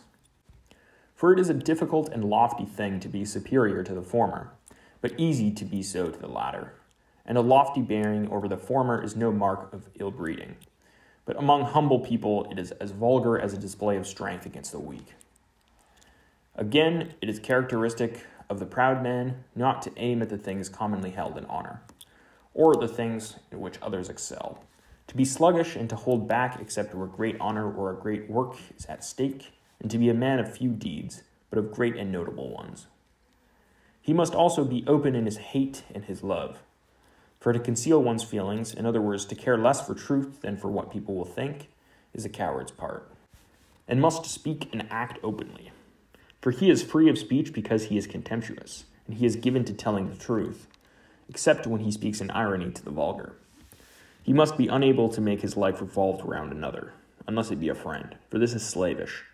And for this reason, all flatterers are servile, and people lacking in self respect are flatterers. Nor is he given to admiration, for nothing to him is great. Nor is he mindful of wrongs, for it is not the part of a proud man to have a long memory, especially for wrongs, but rather to overlook them. Nor is he a gossip, for he will speak neither about himself nor about another, since he cares not to be praised, nor for others to be blamed. Nor again is he given to praise. And for the same reason, he is not an evil speaker, even about his enemies, except from haughtiness. With regard to necessary or small matters, he is at least of all given to lamentation or the asking of favors. For it is the part of one who takes such matters seriously to behave so with respect to them. He is one who will possess beautiful and profitless things rather than profitable and useful ones. For this is more proper to a character that suffices to itself. Further, a slow step is thought proper to the proud man, a deep voice and level utterance. For the man who takes few things seriously is not likely to be hurried, nor the man who thinks nothing great to be excited, while a shrill voice and a rapid gait are the results of hurry and excitement. Such then is the proud man. The man who falls short of him is unduly humble, and the man who goes beyond him is vain. Now, even these are not thought to be bad, for they are not malicious, but only mistaken. For the unduly humble man, being worthy of good things, robs himself of what he deserves and to have something bad about him from the fact that he does not think himself worthy of good things, and seems also not to know himself. Else he would have desired the things he was worthy of, since these were good. Yet, such people are not thought to be fools, but rather unduly retiring. Such a reputation, however, seems actually to make them worse, for each class of people aims at what corresponds to its worth, and these people stand back even from noble undertakings and actions deeming themselves unworthy, and from external goods no less. Vain people, on the other hand, are fools and ignorant of themselves, and that manifestly. For not being worthy of them, they attempt honorable undertakings, and, there, and then are found out, and they adorn themselves with clothing and outward show and such things, and wish their strokes of good fortune to be made public, and speak about them as if they would be honored for them. But undue humility is more opposed to pride than vanity is, for it is both commoner and worse. Pride, then, is concerned with honor on the grand scale, as has been said. Section 4. There seems to be in the sphere of honor also, as was said in our first remarks on the subject, a virtue which would appear to be related to pride as liberality is to magnificence. For neither of these has anything to do with the grand scale, but both dispose us, as is right, to with regard to middling and unimportant objects. As in getting and giving of wealth there is a mean and an excess and defect, so too honor may be desired more than is right, or less, or from the right sources and in the right way. We blame both the ambitious man as at honor more than is right and from wrong sources, and the unambitious man as not willing to be honored even for noble reasons. But sometimes we praise the ambitious man as being manly and a lover of what is noble, and the unambitious man as being moderate and self controlled, as we said in our first treatment of the subject. Evidently, since fond of such and such an object has more than one meaning, we do not assign the term ambition or love of honor always to the same thing. But when we praise the quality, we think of the man who loves honor more than most people, and when we blame it, we think of him who loves it more than is right. The mean being without a name, the extremes seem to dispute for its place, as though that were vacant by default. But where there is excess and defect, there is also an intermediate. Now, men desire honor both more than they should and less. Therefore, it is possible also to do so as one should. At all events, this is the state of character that is praised, being an unnamed mean in respect of honor. Relatively to ambition, it seems to be unambitiousness, and relatively to unambitiousness, it seems to be ambition, while relatively to both severally, it seems in a sense to be both together. This appears to be true of the other virtues also, but in this case, the extremes seem to be contradictories because the mean has not received a name. Section 5. Good temper is a mean with respect to anger, the middle state being unnamed, and the extremes also without a name as well. We place good temper in the middle position, though it inclines towards the deficiency, which is without a name. The excess might be called a sort of irascibility, for the passion is anger, while its causes are many and diverse. The man who is angry at the right things and with the right people, and further as he ought, when he ought, and as long as he ought, is praised. This will be the good tempered man, then, since good temper is praised. For the good tempered man tends to be unperturbed and not to be led by passion but to be angry in the manner at the things and for the length of time that the rule dictates. But he is thought to err rather in the direction of deficiency. For the good tempered man is not revengeful, but rather tends to make allowances. The deficiency, whether it is a sort of inirascibility or whatever it is, is blamed. For those who are not angry at the things they should be angry at are thought to be fools. And so are those who are not angry in the right way at the right time or with the right persons.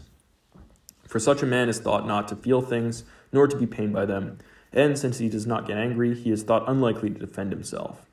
And to endure being insulted and put up with insult to one's friends is slavish.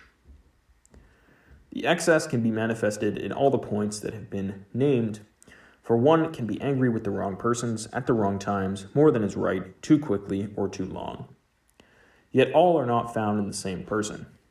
Indeed, they could not, for evil, destroys even itself, and it is, if it is complete, becomes unbearable. Now, hot tempered people get angry quickly and with the wrong persons and at the wrong things and more than is right. But their anger ceases quickly, which is the best point about them. This happens to them because they do not restrain their anger, but retaliate openly owing to their quickness of temper, and then their anger ceases. By reason of excess, choleric people are quick tempered and ready to be angry with everything and on every occasion. Whence their name. Sulky people are hard to appease and retain their anger long, for they repress their passion. But it ceases when they retaliate, for revenge relieves them of their anger, producing in them pleasure instead of pain. If this does not happen, they retain their burden, for owing to its not being obvious, no one even reasons with them, and to digest one's anger in oneself takes time. Such people are most troublesome to themselves and to their dearest friends. We call hot tempered those who are angry at the wrong things more than is right, and longer, and cannot be appeased until they inflict vengeance or punishment. To good temper, we oppose the excess rather than the defect, for not only is it commoner since revenge is the more human, but bad tempered people are worse to live with. What we have said in our earlier treatment of the subject is plain also from what we are now saying, vis a vis that it is not easy to define how, with whom, at what, and how long one should be angry, and at what point right action ceases and wrong begins. For the man who strays a little from the path, either towards the more or towards the less, is not blamed. Since sometimes we praise those who exhibit the deficiency and call them good tempered, and sometimes we call angry people manly as being capable of ruling. How far, therefore, and how a man must stray before he becomes blameworthy is not easy to state in words for the decision depends on the particular facts and on perceptions. But so much at least is plain that the middle state is praiseworthy, that in virtue of which we are angry with the right people, at the right things, in the right way, and so on, while the excesses and defects are blameworthy. Slightly so if they are present in a low degree, more if in a higher degree, and very much if in a high degree. Evidently, then, we must cling to the middle state. Enough of the states relative to anger. Section 6. In gatherings of men, in social life, and the interchange of words and deeds, some men are thought to be obsequious, vis a vis those who, to give pleasure, praise everything and never oppose, but think it their duty to give no pain to the people they meet. While those who, on the contrary, oppose everything and care not a whit about giving pain are called churlish and contentious. That the states we have named are culpable is plain enough, and that the middle state is laudable that in virtue of which a man will put up with and will resent the right things and in the right way. But no name has been assigned to it, though it most resembles friendship. For the man who corresponds to this middle state is very much, with affection added, we call a good friend.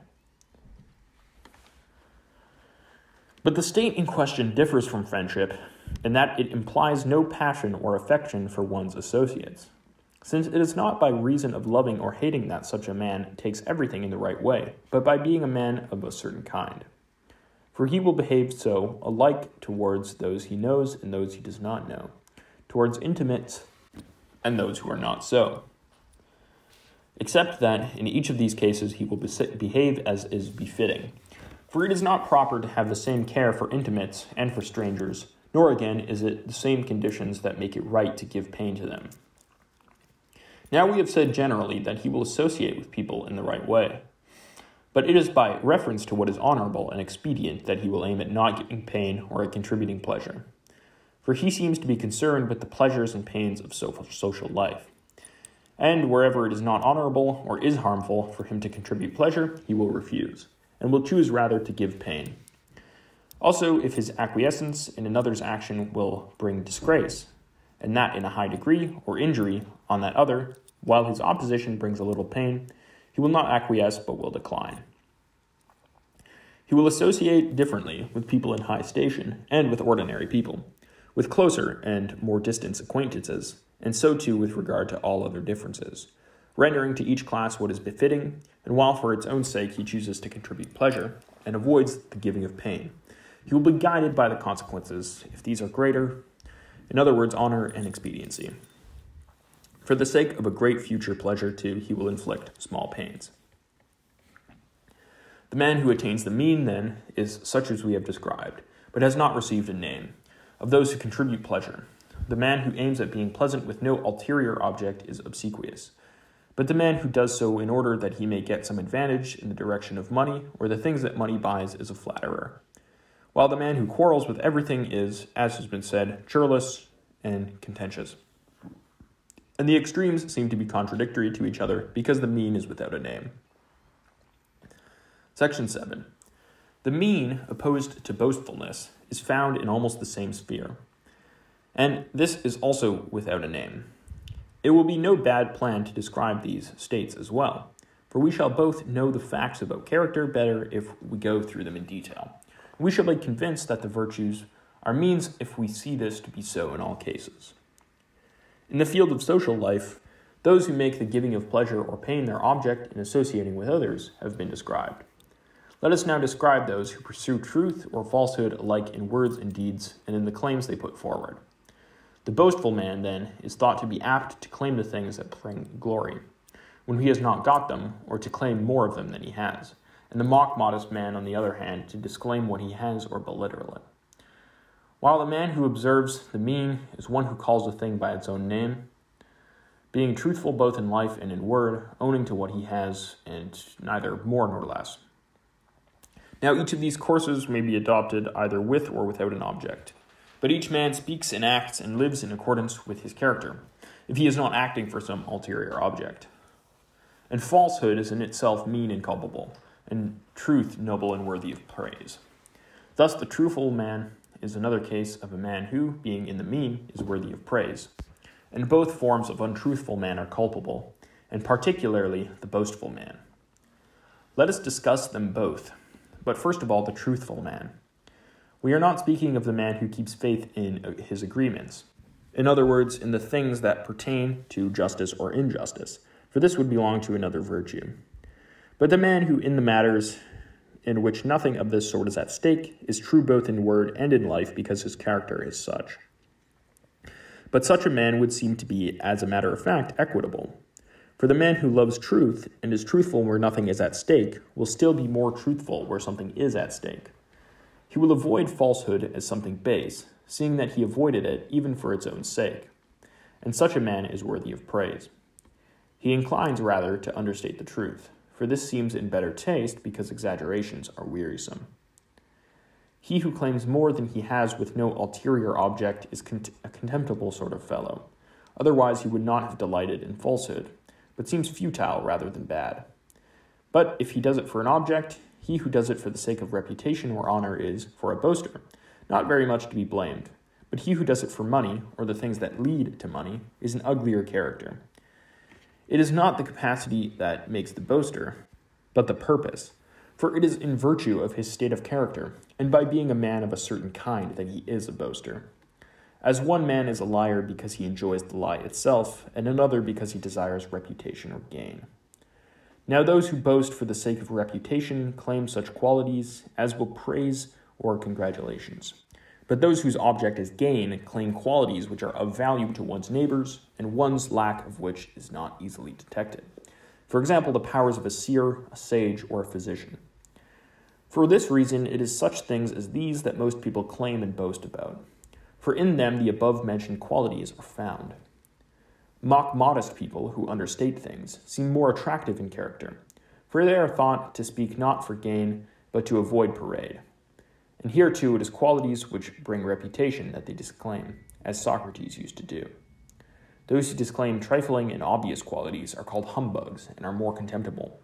And sometimes this seems to be boastfulness, like the Spartan dress, for both excess and great deficiency are boastful. But those who use understatement with moderation and understate about matters that do not very much force themselves on our notice seem attractive. And it is the boaster that seems to be opposed to the truthful man, for he is the worst character. Section 8. Since life includes rest as well as activity, and in this is included leisure and amusement. There seems here also to be a kind of intercourse which is tasteful. There is such a thing as saying, and again listening to, what one should and as one should. The kind of people one is speaking or listening to will also make a difference. Evidently, here also there is both an excess and def- deficiency as compared with the mean. Those who carry humor to excess are thought to be vulgar buffoons, striving after humor at all costs, and aiming rather at raising a laugh than at saying what is becoming and at avoiding pain to the object of their fun. While those who can neither make a joke themselves nor put up with those who do are thought to be boorish and unpolished. But those who joke in a tasteful way are called ready witted, which implies a sort of readiness to turn this way and that, for such sallies are thought to be movements of the character. And as bodies are discriminated by their movements, so too are characters. The ridiculous side of things is not far to seek, however, and most people delight more than they should in amusement and in jestingly. And so even buffoons are called ready witted because they are found attractive. But that they differ from the ready witted man, and to no small extent, is clear from what has been said. To the middle state belongs also tact. It is the mark of a tactful man to say and listen to such things as befit a good and well bred man. For there are some things that it befits such a man to say and to hear by way of jest. And the well bred man's jesting differs from that of a vulgar man, and the joking of an educated man from that of an uneducated. One may see this even from the old and the new comedies. To the authors of the former, indecency of language was amusing. To those of the latter, innuendo is more so. And these differ in no small degree in respect of propriety. Now, should we define the man who jokes well by his saying what is not unbecoming to a well bred man, or by his not giving pain, or even giving delight to the hearer? Or is the latter definition, at any rate, itself indefinite, since different things are hateful or pleasant to different people?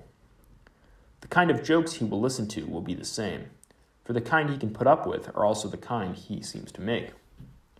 There are, then, jokes he will not make, for the jest is a sort of abuse and there are things that lawgivers forbid us to abuse. And they should, perhaps, have forbidden us even to make a jest of such. The refined and well bred man, therefore, will be as we have described, being as it were a law to himself. Such then is the man who observes the mean, whether he be called tactful or ready witted. The buffoon, on the other hand, is the slave of his sense of humor, and spares neither himself nor others if he can raise a laugh and says things none of which a man of refinement would say, and to some of which he would not even listen. The boor, again, is useless for such social intercourse, for he contributes nothing and finds fault with everything. But relaxation and amusement are thought to be a necessary element in life.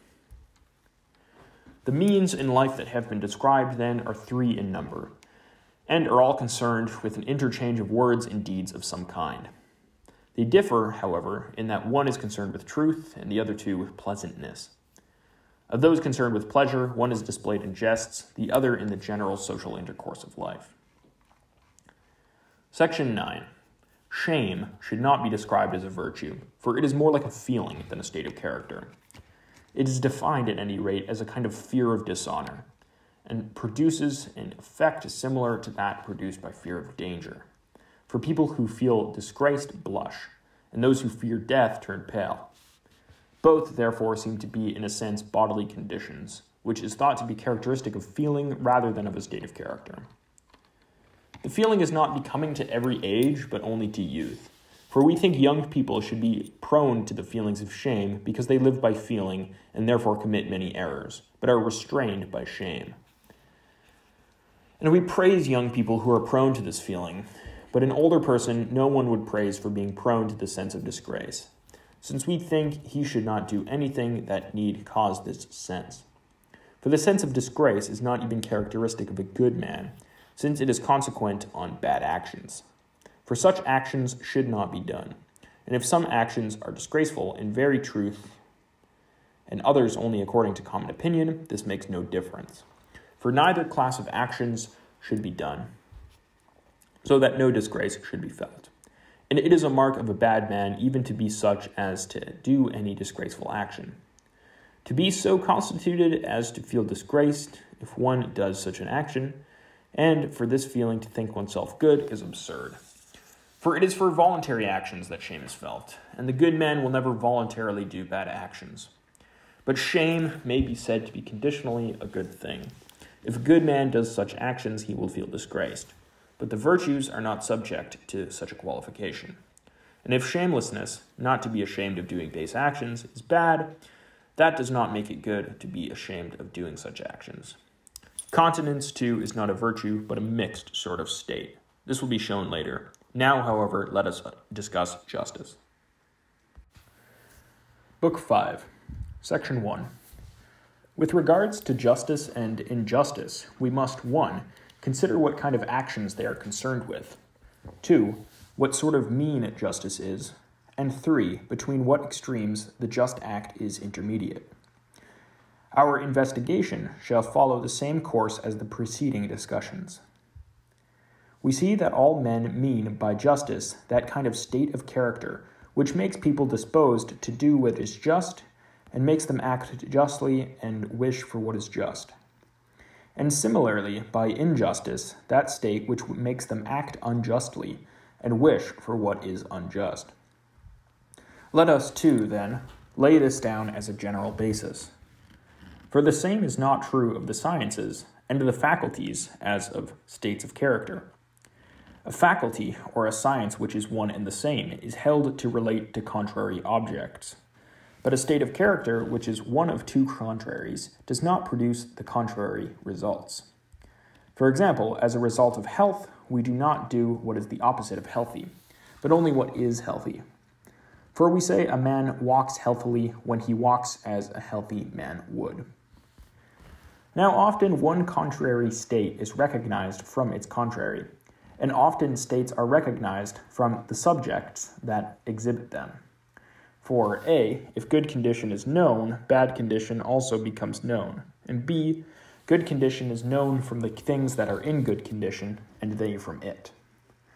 If good condition is firmness of flesh, it is necessary both that the bad condition should be flabbiness of flesh, and that the wholesome should be that which causes firmness in flesh. And it follows for the most part that if one contrary is ambiguous, the other also will be ambiguous. For example, if just is so, then unjust will be so too.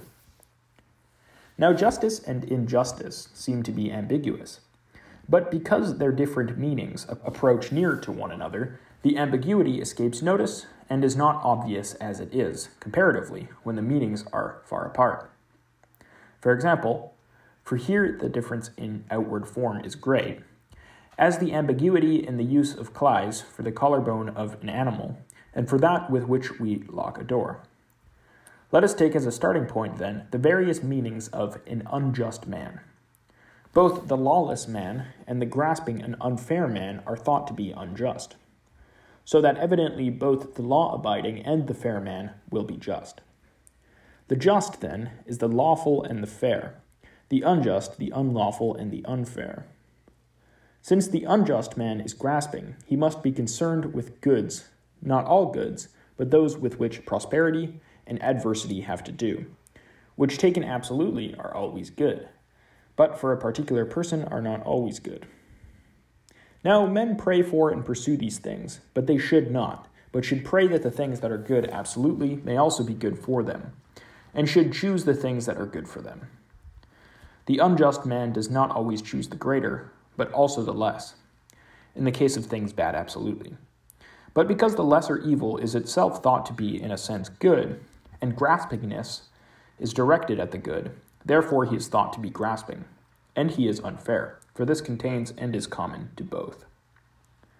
Since the lawless man was seen to be unjust, and the law abiding man just, evidently all lawful acts are in a sense just acts. For the acts laid down by the legislative art are lawful, and each of these, we say, is just. Now, the laws in their enactments on all subjects aim at the common advantage either of all or of the best or of those who hold power, or something of the sort. So that in one sense we call those acts just, those that tend to produce and preserve happiness and its components for the political society. And the law bids us to do both the acts of a brave man, for example, not to desert our post, nor to take flight, nor throw away our arms. And those of a temperate man, for example, not to commit adultery, nor to gratify one's lust. And those of a good tempered man, for example, not to strike another, nor to speak evil.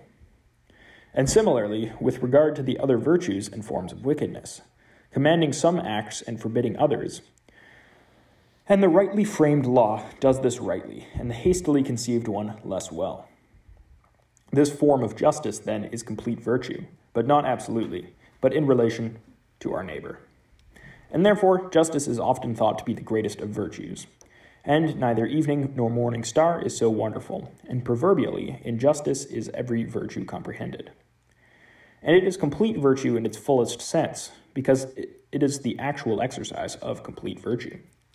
It is complete because he who possesses it can exercise his virtue, not only in himself, but towards his neighbor also. For many men can exercise virtue in their own affairs, but not in their relations to their neighbor. This is why the saying of Bias is thought to be true that rule will show the man. For a ruler is necessarily in relation to other men and a member of society. For this same reason, justice, alone of the virtues, is thought to be another's good, because it is related to our neighbor. For it does what is advantageous to another, either a ruler or a co partner. Now, the worst man is he who exercises his wickedness, both towards himself and towards his friends. And the best man is not he who exercises his virtue towards himself, but he who exercises it toward another. For this is a difficult task. Justice, in this sense, then, is not part of virtue, but virtue entire nor is the contrary injustice a part of vice, but vice entire. What the difference is between virtue and justice, in this sense, is plain from what we have said. They are the same, but their essence is not the same. What, as a relation to one's neighbor, is justice is, as a certain kind of state without qualification, virtue. Section 2. But at all events, what we are investigating is the justice which is a part of virtue. For there is a justice of this kind, as we maintain. Similarly, it is with injustice in the particular sense that we are concerned. That there is such a thing is indicated by the fact that while the man who exhibits in action the other forms of wickedness acts wrongly indeed, but not graspingly. For example, the man who throws away his shield through cowardice, or speaks harshly through bad temper, or fails to help a friend with money through meanness, when a man acts graspingly, he often exhibits none of these vices. No, nor altogether, but certainly wickedness of some kind, for we blame him, and injustice. There is, then, another kind of injustice, which is a part of injustice in the wide sense, and a use of the word unjust, which answers to a part of what is unjust in the wide sense of contrary to the law. Again, if one man commits adultery for the sake of gain and makes money by it, while another does so at the bidding of appetite, though he loses money and is penalized for it, the latter would be held to be self indulgent rather than grasping. But the former is unjust, but not self indulgent. Evidently, therefore, he is unjust by reason of his making gain by his act. Again, all other unjust acts are ascribed invariably to some particular kind of wickedness. For example, adultery to self indulgence, the desertion of a comrade in battle to cowardice, physical violence to anger. But if a man makes gain, his action is ascribed to no form of wickedness but injustice. Evidently, therefore, there is, apart from injustice in the wide sense, another particular injustice, which shares the name and nature of the first, because its definition falls within the same genus. For the significance of both consists in a relation to one's neighbor. But the one is concerned with honor or money or safety, or that which includes all these, if we had a single name for it. And its motive is the pleasure that arises from gain, while the other is concerned with all the objects with which the good man is concerned. It is clear then that there is more than one kind of justice, and that there is one which is distinct from virtue entire. We must try to grasp its genus and differentia. The unjust has been divided into the unlawful and the unfair, and the just into the lawful and the fair. To the unlawful answers the aforementioned sense of injustice. But since unfair and the unlawful are not the same, but are different as a part is from its whole, for all that is unfair is unlawful, but not all that is unlawful is unfair. The unjust and injustice, in the sense of the unfair, are not the same as, but different from the former kind, as part from whole. For injustice in this sense is a part of injustice in the wide sense, and similarly, justice in the one sense of justice in the other. Therefore, we must speak also about particular justice, and particular and similarly about the just and the unjust.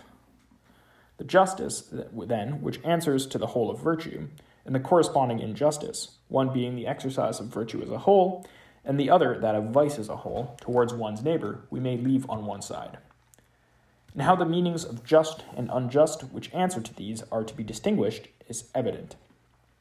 For practically the majority of the acts commanded by the law are those which are prescribed from the point of view of virtue taken as a whole.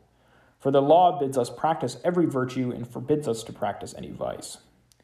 And the things that tend to produce virtue, taken as a whole, are those of the acts prescribed by the law, which have been prescribed with a view to education for the common good but with regard to the education of the individual as such, which makes him without qualification a good man, we must determine later whether this is the same function of the political art or of another. For perhaps it is not the same to be a good man and a good citizen of any state taken at random. Of particular justice and that which is just in the corresponding sense, a. One kind is that which is manifested in distributions of honor, or money, or the things that fall to be divided among those who have a share in the Constitution. For in these it is possible for one man to have a share either unequal or equal to that of another. And B. One is that which plays a rectifying part in transactions between man and man. Of this there are two divisions. Of transactions, one, some are voluntary, and two, others involuntary. Voluntary such transactions as sale, purchase, loan for consumption, pledging, loan for use, depositing, letting, they are called voluntary because the origin of these transactions is voluntary. While of the involuntary, A, some are clandestine, such as theft, adultery, poisoning, procuring, enticement of slaves, assassination, false witness, and B, others are violent, such as assault, imprisonment, murder, robbery with violence, mutilation, abuse, and insult. Section 3. A. We have shown that both the unjust man and the unjust act are unfair or unequal. Now, it is clear that there is also an intermediate between the two unequals involved in either case. And this is the equal. For in any kind of action in which there's a more and a less, there is also what is equal. If, then, the unjust is unequal, just is equal, as all men suppose it to be, even apart from argument. And since the equal is intermediate, the just will be an intermediate. Now, equality implies at least two things. The just, then, must be both intermediate and equal relative, in other words, for certain persons. And since the equal intermediate, it must be between certain things, which are respectively greater and less. Equal, it involves two things. Qua just, it is for certain people. The just, therefore, involves at least four terms, for the person for whom it is in fact just are two, and the things in which it is manifested, the objects distributed, are two. And the same equality will exist between the persons and between the things concerned. For as the latter, the things concerned, are related, so are the former. If they are not equal, they will not have what is equal. But this is the origin of quarrels and complaints. When either equals have and are awarded unequal shares, or unequals equal shares. Further, this is plain from the fact that awards should be according to merit. For all men agree that what is just in distribution must be according to merit in some sense, though they do not all specify the same sort of merit, but Democrats identify it with the status of freemen, supporters of oligarchy with wealth or with noble birth, and supporters of aristocracy with excellence. The just, then, is a species of the proportionate, proportion being not a property only of the kind of number, which consists of abstract units, but of number in general. For proportion is equality of ratios, and involves four terms at least, that discrete proportion involves four terms as plain, but so does continuous proportion, for it uses one term as two and mentions it twice. For example, as the line A is to the line B, so is the line B to the line C. The line B then has been mentioned twice, so that if the line B be assumed twice, the proportional terms will be four. And the just, too, involves at least four terms, and the ratio between one pair is the same as that between the other pair for there it's a similar distinction between the persons and between the things. As the term A then is to B, so will C be to D, and therefore alternando is A to C. B will be to D. Therefore, also the whole is in the same ratio to the whole.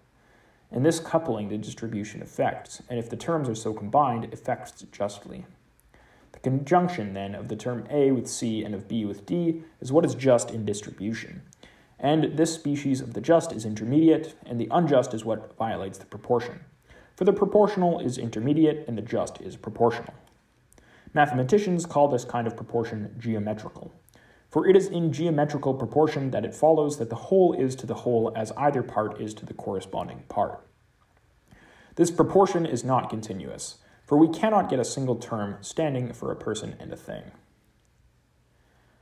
This, then, is what the just is, the proportional. The unjust is what violates the proportion. Hence, one term becomes too great, the other too small, as indeed happens in practice. For the man who acts unjustly has too much, and the man who is unjustly treated too little of what is good. In the case of evil, the reverse is true, for the lesser evil is reckoned a good in comparison with the greater evil, since the lesser evil is rather to be chosen than the greater, and what is worthy of choice is good, and what is worthier of choice a greater good. This then is one species of the just. Section 4. The remaining one is the rectificatory, which arises in connection with transactions both voluntary and involuntary. This form of the just has a different specific character from the former. For the justice which distributes common possessions is always in accordance with the kind of proportion mentioned above. For in the case also in which the distribution is made from the common funds of a partnership, it will be according to the same ratio which the funds put into the business by the partners bear to one another. And the injustice opposed to this kind of justice is that which violates the proportion. But the justice in transactions between man and man is a sort of equality indeed, and the injustice a sort of inequality. Not according to that kind of proportion, however, but according to arithmetical proportion. For it makes no difference whether a good man has defrauded a bad man or a bad man a good one, nor whether it is a good or a bad man that has committed adultery. The law looks only to the distinctive character of the injury and treats the parties as equal if one is in the wrong and the other is being wronged, and if one inflicted injury and the other has received it. Therefore, this kind of injustice being an inequality, the judge tries to equalize it. For in the case also in which one has received and the other has inflicted a wound, or one has slain and the other has been slain, the suffering and the action have been unequally distributed. But the judge tries to equalize by means of the penalty, taking away from the gain of the assailant for the term gain is applied generally to such cases, even if it be not a term appropriate to certain cases, for example, to the person who inflicts a wound and loss to the sufferer. At all events, when the suffering has been estimated, the one is called loss and the other gain. Therefore, the equal is intermediate between the greater and the less, but the gain and the loss are respectively greater and less in contrary ways. More of the good and less of the evil are gain, and the contrary is loss.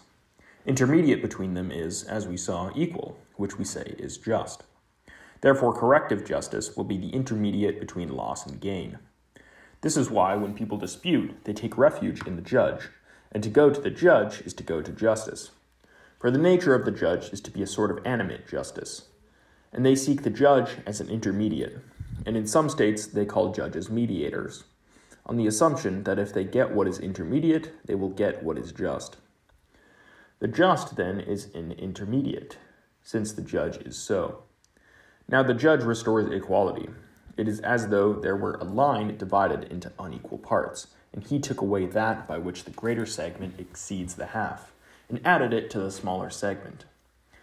And when the whole has been equally divided, then they say they have their own. In other words, when they have got what is equal.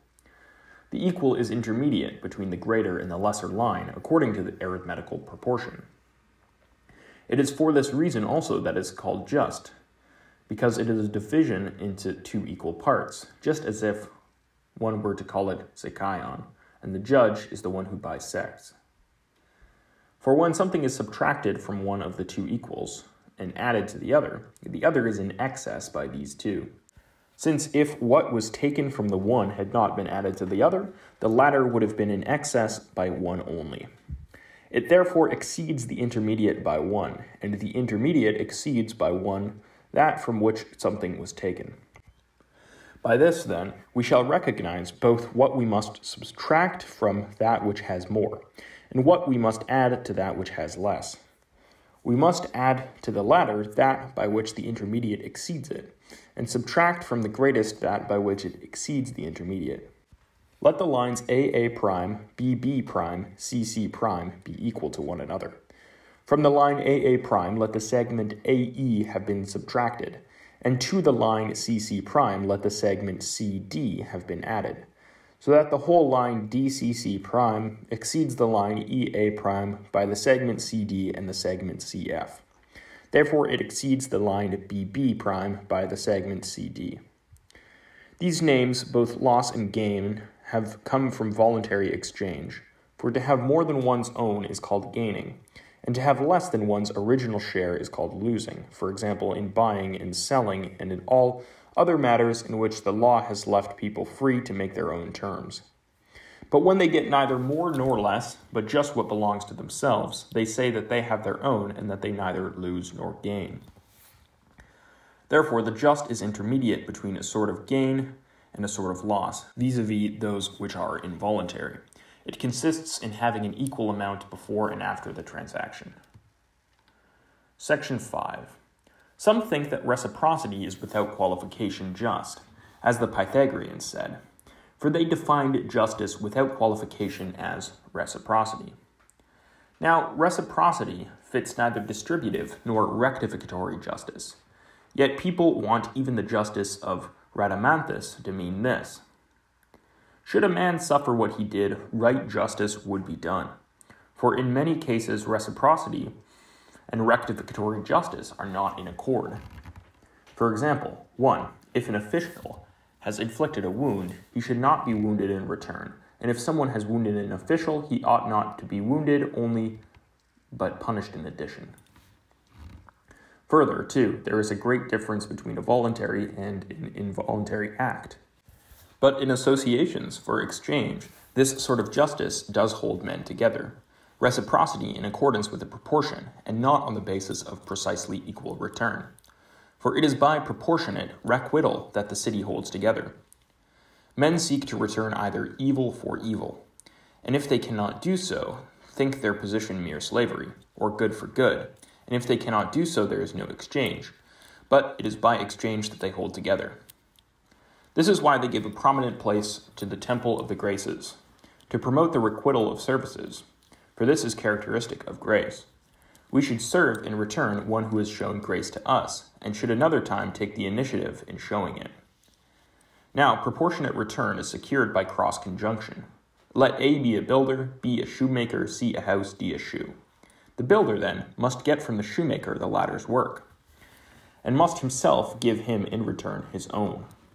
If, then, first there is proportionate equality of goods, and then reciprocal action takes place, the result we mention will be affected. If not, the bargain is not equal and does not hold, for there is nothing to prevent the work of the one being better than that of the other. They must therefore be equated. And this is true of the other arts also, for they would have been destroyed if what the patient suffered had not been just what the agent did, and of the same amount in kind. For it is not two doctors that associate for exchange, but a farmer and a doctor, or in general people who are different and unequal. But these must be equated. This is why all things that are exchanged must be somehow comparable. It is for this end that money has been introduced, and it becomes, in a sense, an intermediate, for it measures all things, and therefore the excess and the defect. How many shoes are equal to a house or to a given amount of food? The number of shoes exchanged for a house or for a given amount of food must therefore correspond to the ratio of builder to shoemaker. For if this be not so, there will be no exchange and no intercourse. And this proportion will not be effected unless the goods are somehow equal. All goods must therefore be measured by some one thing, as we said before. Now, this unit is in truth demand, which holds all things together. For if men did not need one another's goods at all, or did not need them equally, there would be either no exchange or not the same exchange. But money has become by convention a sort of representative of demand. And this is why it has the name money, because it exists not by nature but by law, and it is in our power to change it and make it useless. There will then be reciprocity when the terms have been equated, so that as farmer is to shoemaker, the amount of the shoemaker's work is to that of the farmer's work for which it exchanges. But we must not bring them into a figure of proportion when they have already exchanged. Otherwise, one extreme will have both excesses, but when they still have their own goods. Thus, they are equals and associates just because this equality can be effected in their case. Let A be a farmer, C food, B a shoemaker, D his product, equated to C. If it had not been possible for reciprocity to be thus effected, there would have been no association of the parties. That demand holds things together as a single unit is shown by the fact that when men do not need one another, in other words, when neither needs the other or one does not need the other, they do not exchange, as we do when someone wants what one has oneself. For example, when people permit the exportation of corn in exchange for wine. This equation therefore must be established, and for the future exchange, that if we do not need a thing now, we shall have it if ever we do need it. Money is, as it were, our surety. For it must be possible for us to get what we want by bringing the money. Now, the same thing happens to money itself as to goods. It is not always worth the same, yet it tends to be steadier. This is why all goods must have a price set on them for then there will always be exchange, and if so, association of man with man. Money, then, acting as a measure, makes goods commensurate and equates them. For neither would there have been association if there were not exchange, nor exchange if there were not equality, nor equality if there were not commensurability. Now, in truth, it is impossible that things differing so much should become commensurate, but with reference to demand, they may become so sufficiently. There must, then, be a unit, and that fixed by agreement. For which reason it is called money. For it is this that makes all things commensurate, since all things are measured by money. Let A be a house, B ten minae, C a bed. A is half of B if the house is worth five minae, or equal to them. The bed, C, is a tenth of B. It is plain, then, how many beds are equal to a house, vis a vis 5. That exchange took place thus before there was money is plain. For it makes no difference whether it is five beds that exchange for a house, or the money value of five beds. We have now defined the unjust and the just. These having been marked off from each other, it is plain that just action is intermediate between acting unjustly and being unjustly treated. For the one is to have too much and the other to have too little. Justice is a kind of mean, but not in the same way as the other virtues, but because it relates to an intermediate amount, while injustice relates to the extremes. And justice is that in virtue of which the just man is said to be a doer by choice of that which is just. and one who will distribute either between himself and another or between two others, not so as to give more of what is desirable to himself and less to his neighbor, and conversely with what is harmful, but so as to give what is equal in accordance with proportion, and similarly in distributing between two other persons. Injustice, on the other hand, is similarly related to the unjust, which is excess and defect, contrary to proportion, of the useful or hurtful. For which reason injustice is excess and defect, vis a vis because it is productive of excess and defect. In one's own case, excess of what is in its own nature useful and, of de- and defect of what is hurtful, while in the case of others, it is as a whole like what it is in one's own case, but proportion may be violated in either direction. In the unjust act, to have too little is to be unjustly treated. To have too much is to act unjustly. Let this be taken as our account of the nature of justice and injustice, and similarly of the just and the unjust in general. Section 6. Since acting unjustly does not necessarily imply being unjust, we must ask what sort of unjust acts imply that the doer is unjust with respect to each type of injustice. For example, a thief, an adulterer, or a brigand. Surely the answer does not turn on the difference between these types. For a man might even lie with a woman knowing who she was, but the origin of his might be not deliberate choice, but passion.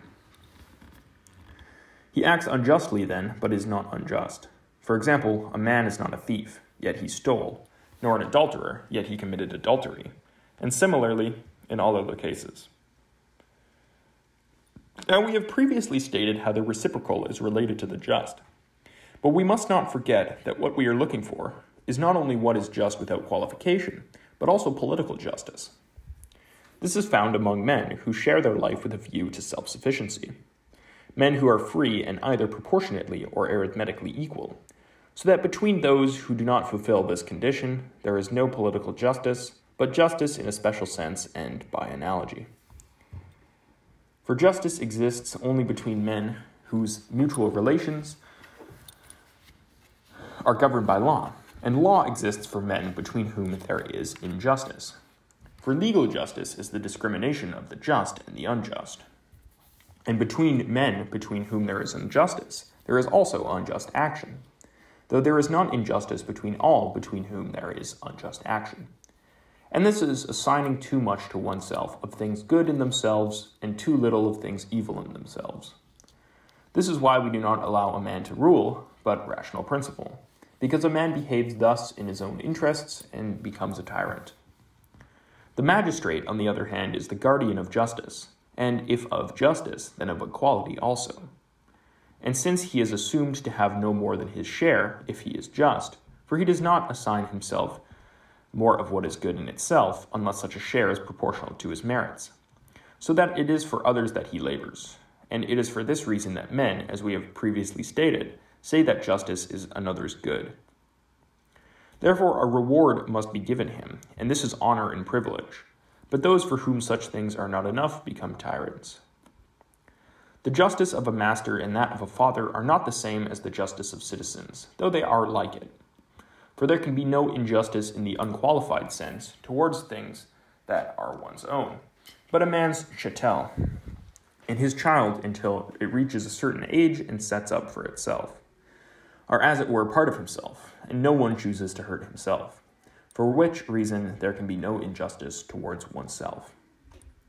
Therefore, the justice or injustice of citizens is not manifested in these relations, for it was as we saw according to the law, and between people naturally subject to law, and these, as we saw, are people who have an equal share in ruling and being ruled. Hence, justice can more truly be manifested towards a wife than towards children and chattels, for the former is household justice, but even this is different from political justice. Section 7. Of political justice, part is natural, part legal.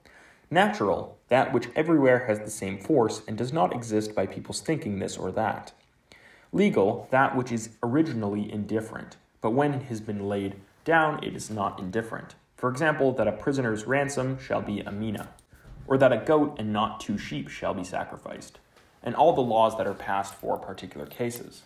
For example, that sacrifice shall be made in the honor of Brasidas, and the provisions of decrees.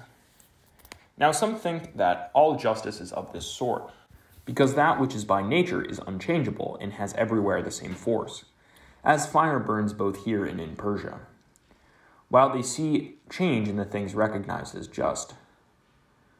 This, however, is not true in this unqualified way, but is true in a sense. Or rather, with the gods, it is perhaps not true at all, while with us there is something that is just even by nature. Yet all of it is changeable.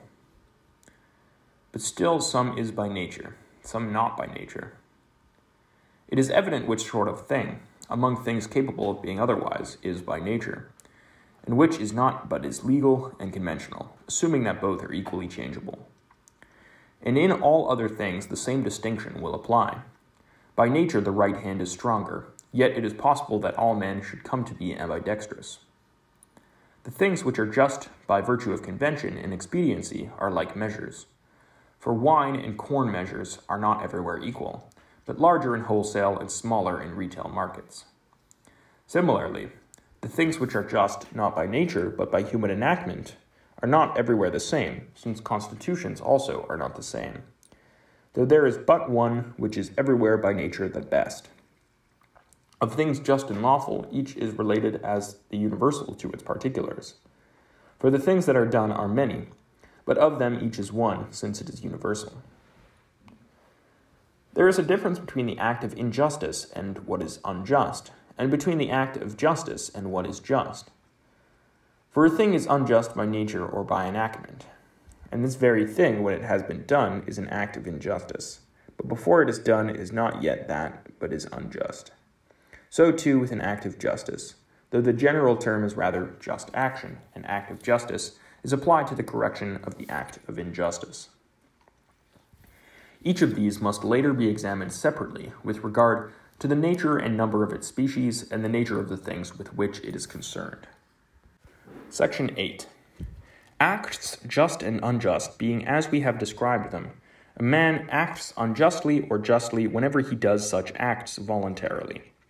When involuntarily, he acts neither unjustly nor justly except in an incidental way, for he does things which happen to be just or unjust. Whether an act is or is not one of injustice or of justice is determined by its voluntariness or involuntariness. For when is voluntary, it is blamed, and at the same time is then an act of injustice. So that there will be things that are unjust, yet not acts of injustice, if voluntariness be not present at all.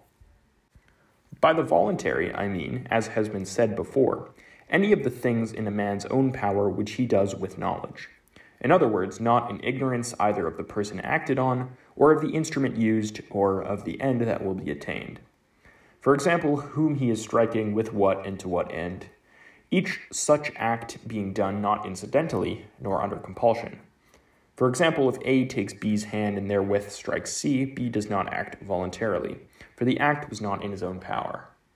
The person struck may be the striker's father, and the striker may know that it is a man or one of the persons present, but not know that it is his father.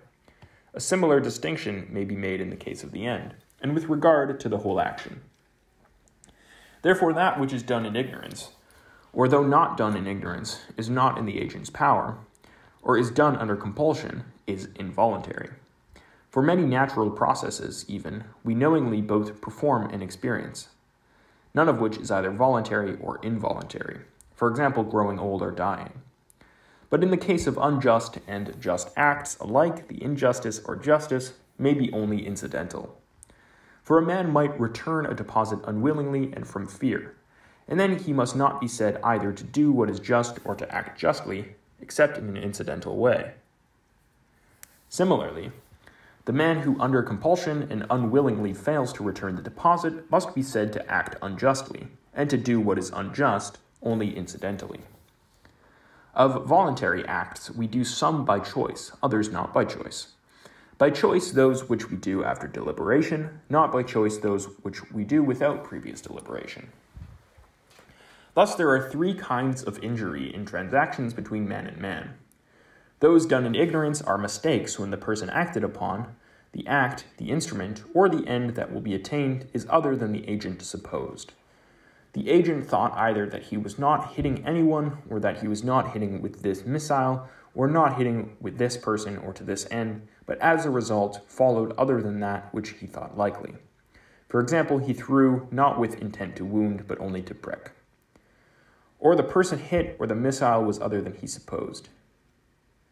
Now, when 1. the injury takes place contrary to reasonable expectation, it is a misadventure. When 2. it is not contrary to reasonable expectation, but does not imply vice, it is a mistake. For a man makes a mistake when the fault originates in him, but is the victim of accident when the origin lies outside him. When 3. he acts with knowledge, but not after deliberation, it is an act of injustice. For example, the acts due to anger or to other passions necessary or natural to men. For when men do such harmful and mistaken acts, they act unjustly, and the acts are acts of injustice. But this does not imply that the doers are unjust or wicked, for the injury is not due to vice. But when, 4. a man acts from choice, he is an unjust man and a vicious man. Hence, acts proceeding from anger are rightly judged not to be done of malice aforethought. For it is not the man who acts in anger, but he who enraged him that starts the mischief. Again, the matter in dispute is not whether the thing happened or not, but its justice. For it is apparent injustice that occasions rage. For they do not dispute about the occurrence of the act, as in commercial transactions, where one of the two parties must be vicious unless they do so owing to forgetfulness. But, agreeing about the fact, they dispute on which side justice lies, whereas a man who has deliberately injured another cannot help knowing that he has done so, so that the one thinks he is being treated unjustly and the other disagrees. But if a man harms another by choice, he acts unjustly. And these are the acts of injustice which imply that the doer is an unjust man provided that the act violates proportion or equality. Similarly, a man is just when he acts justly by choice, but he acts justly if he merely acts voluntarily. Of involuntary acts, some are excusable, others not. For the mistakes which men make not only in ignorance, but also from ignorance, are excusable, while those which men do from, not from ignorance, but, though they do them in ignorance, owing to a passion which is neither natural nor such as man is liable to, are not excusable. Section 9. Assuming that we have sufficiently detailed the suffering and doing of injustice, it may be asked 1. whether the truth is expressed in Euripides' paradoxical words. I slew my mother, that's my tale in brief. Were you both willing or unwilling both?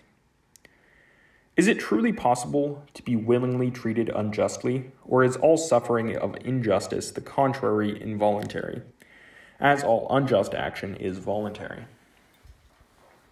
And is all suffering of injustice of the latter kind, or else all of the former? Or is it sometimes voluntary, sometimes involuntary?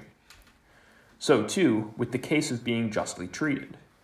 All just action is voluntary, so that it is reasonable that there should be a similar opposition in either case. That both being unjustly and being justly treated should be either alike voluntary or alike involuntary. But it would be thought paradoxical even if the case of being justly treated, if it were always voluntary, for some are unwillingly treated justly. One might raise this question also whether everyone who has suffered what is unjust is being unjustly treated or on the other hand, it is with suffering as with acting. In action and in passivity alike, it is possible to partake of justice incidentally, and similarly, it is plain of injustice. For to do what is unjust is not the same as to act unjustly, nor to suffer what is unjust as to be treated unjustly. And similarly, in the case of acting justly and being justly treated. For it is impossible to be unjustly treated if the other does not act unjustly or justly treated unless he acts justly. Now, if to act unjustly is simply to harm someone voluntarily, and voluntarily means knowing the person acted upon, the instrument, and the manner of one's acting, and the incontinent man voluntarily harms himself, not only will he voluntarily be unjustly treated, but it will be possible to treat oneself unjustly. This also is one of the questions in doubt whether a man can treat himself unjustly. Again, a man may voluntarily, owing to incontinence, be harmed by another who acts voluntarily, so that it would be possible to be voluntarily treated unjustly.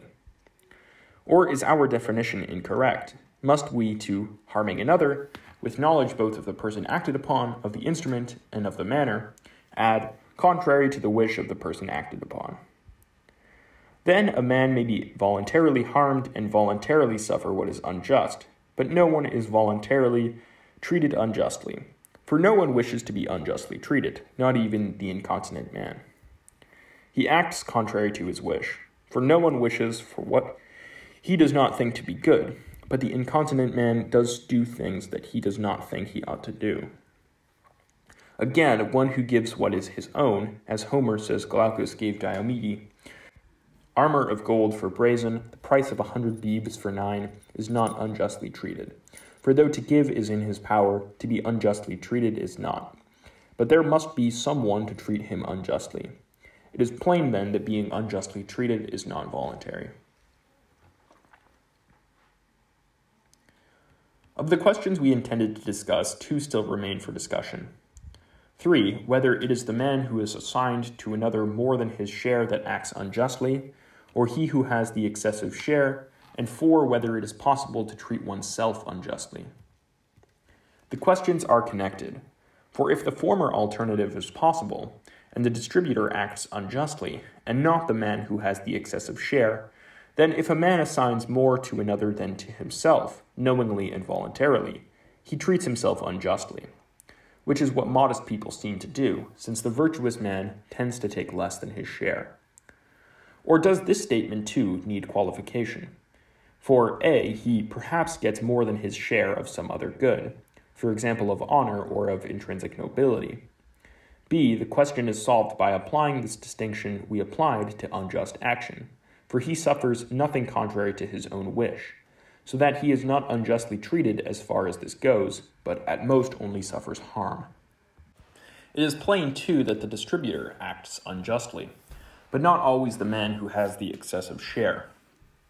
For it is not he to whom what is unjust appertains that acts unjustly, but he to whom it appertains to do the unjust act voluntarily.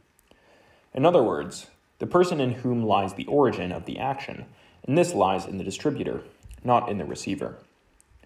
Again, since the word do is ambiguous, and there is a sense in which lifeless things, or a hand, or a servant who obeys an order, may be said to slay, he who gets an excessive share does not act unjustly, though he does what is unjust.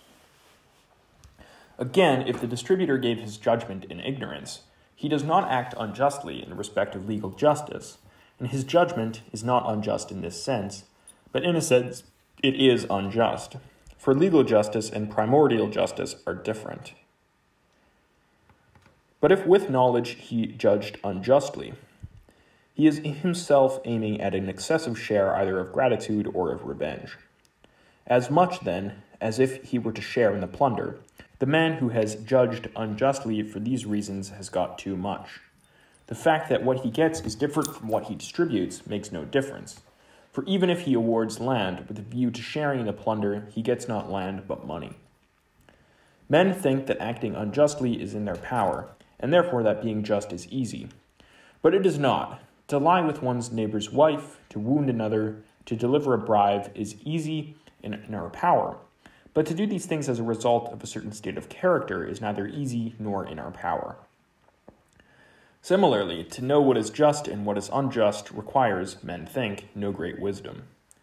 Because it is not hard to understand the matters dealt with by the laws, though these are not the things that are just, except incidentally but how actions must be done and distributions effected in order to be just. To know this is a greater achievement than knowing what is good for the health. Though even there, while it is easy to know that honey, wine, hellebore, cautery, and the use of the knife are so, to know how, to whom, and when these should be applied with a view to producing health, is no less an achievement than that of being a physician. Again, for this very reason, Men think that acting unjustly is characteristic of the just man no less than of the unjust, because he would be not less, but even more capable of doing each of these unjust acts. For he could lie with a woman or wound a neighbor, and the brave man could throw away his shield and turn to fight in this direction or in that. But to play the coward or to act unjustly consists not in doing these things except incidentally, but in doing them as the result of a certain state of character, just as to practice medicine and healing consists not in applying or not applying the knife, in using or not using medicines, but in doing so in a certain way.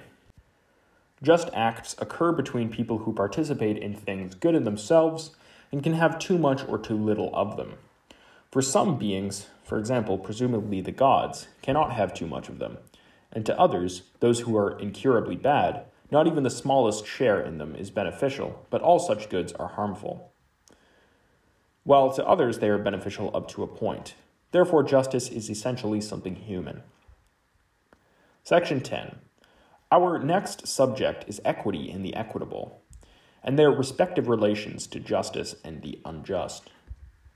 For on examination, they appear to be neither absolutely the same nor generically different. And while we sometimes praise what is equitable and the equitable man, so that we apply the name by way of praise even to instances of the other virtues, instead of good meaning by epieikesteron, that a thing is better. At other times, when we reason it out, it seems strange if the equitable, being something different from the just, is yet praiseworthy. For either the just or the equitable is not good if they are different. Or if both are good, they are the same. These, then, are pretty much the considerations that give rise to the problem about the equitable. They are all, in a sense, correct and not opposed to one another. For the equitable, though it is better than one kind of justice, yet is just, and it is not as being a different class of thing that it is better than the just. The same thing, then, is just and equitable. And while both are good, the equitable is superior. What creates the problem is that the equitable is just, but not the legally just, but a correction of legal justice. The reason is that all law is universal, but about some things it is not possible to make a universal statement, which shall be correct. In those cases, then, in which it is necessary to speak universally, but not possible to do so correctly, the law takes the usual case, though it is not ignorant of the possibility of error. And it is nonetheless correct, for the error is in the law, nor in the legislator, but in the nature of the thing, since the matter of practical affairs is of this kind from the start. When the law speaks universally, then, and a case arises on it which is not covered by the universal statement, then it is right where the legislator fails us and has erred by oversimplicity to correct the omission, to say what the legislator himself would have said had he been present, and would have put into his law if he had known. Hence, the equitable is just, and better than one kind of justice. Not better than absolute justice, but better than the error that arises from the absoluteness of the statement. And this is the nature of the equitable, a correction of law where it is defective owing to its universality. In fact, this is the reason why all things are not determined by law. That about some things it is impossible to lay down a law, so that a decree is needed. For when the thing is indefinite, the rule also is indefinite, like the leaden rule used in making the lesbian molding. The rule adapts itself to the shape of the stone, it is not rigid, and so too the decree is adapted to the facts. It is plain then what the equitable is, and that it is just and is better than one kind of justice. It is evident also from this who the equitable man is. The man who chooses and does such acts, and is no stickler for his rights in a bad sense, but tends to take less than his share, though he has the law oft his side, is equitable. In this state of character is equity, which is a sort of justice and not a different state of character. Section 11. Whether a man can treat himself unjustly or not is evident from what has been said. For A, one class of just acts are those acts in accordance with any virtue which are prescribed by the law. For example, the law does not expressly permit suicide, and what it does not expressly permit, it forbids. Again, when a man in violation of the law harms another, otherwise than in retaliation, voluntarily, he acts unjustly. And a voluntary agent is one who knows both the person he is affecting by his action and the instrument he is using. And he who through anger voluntarily stabs himself does this contrary to the right rule of life, and this the law does not allow. Therefore, he is acting unjustly. But towards whom? Surely towards the state, not towards himself. For he suffers voluntarily. But no one is voluntarily treated unjustly. This is also the reason why the state punishes. A certain loss of civil rights attaches to the man who destroys himself, on the ground that he is treating the state unjustly. Further, b.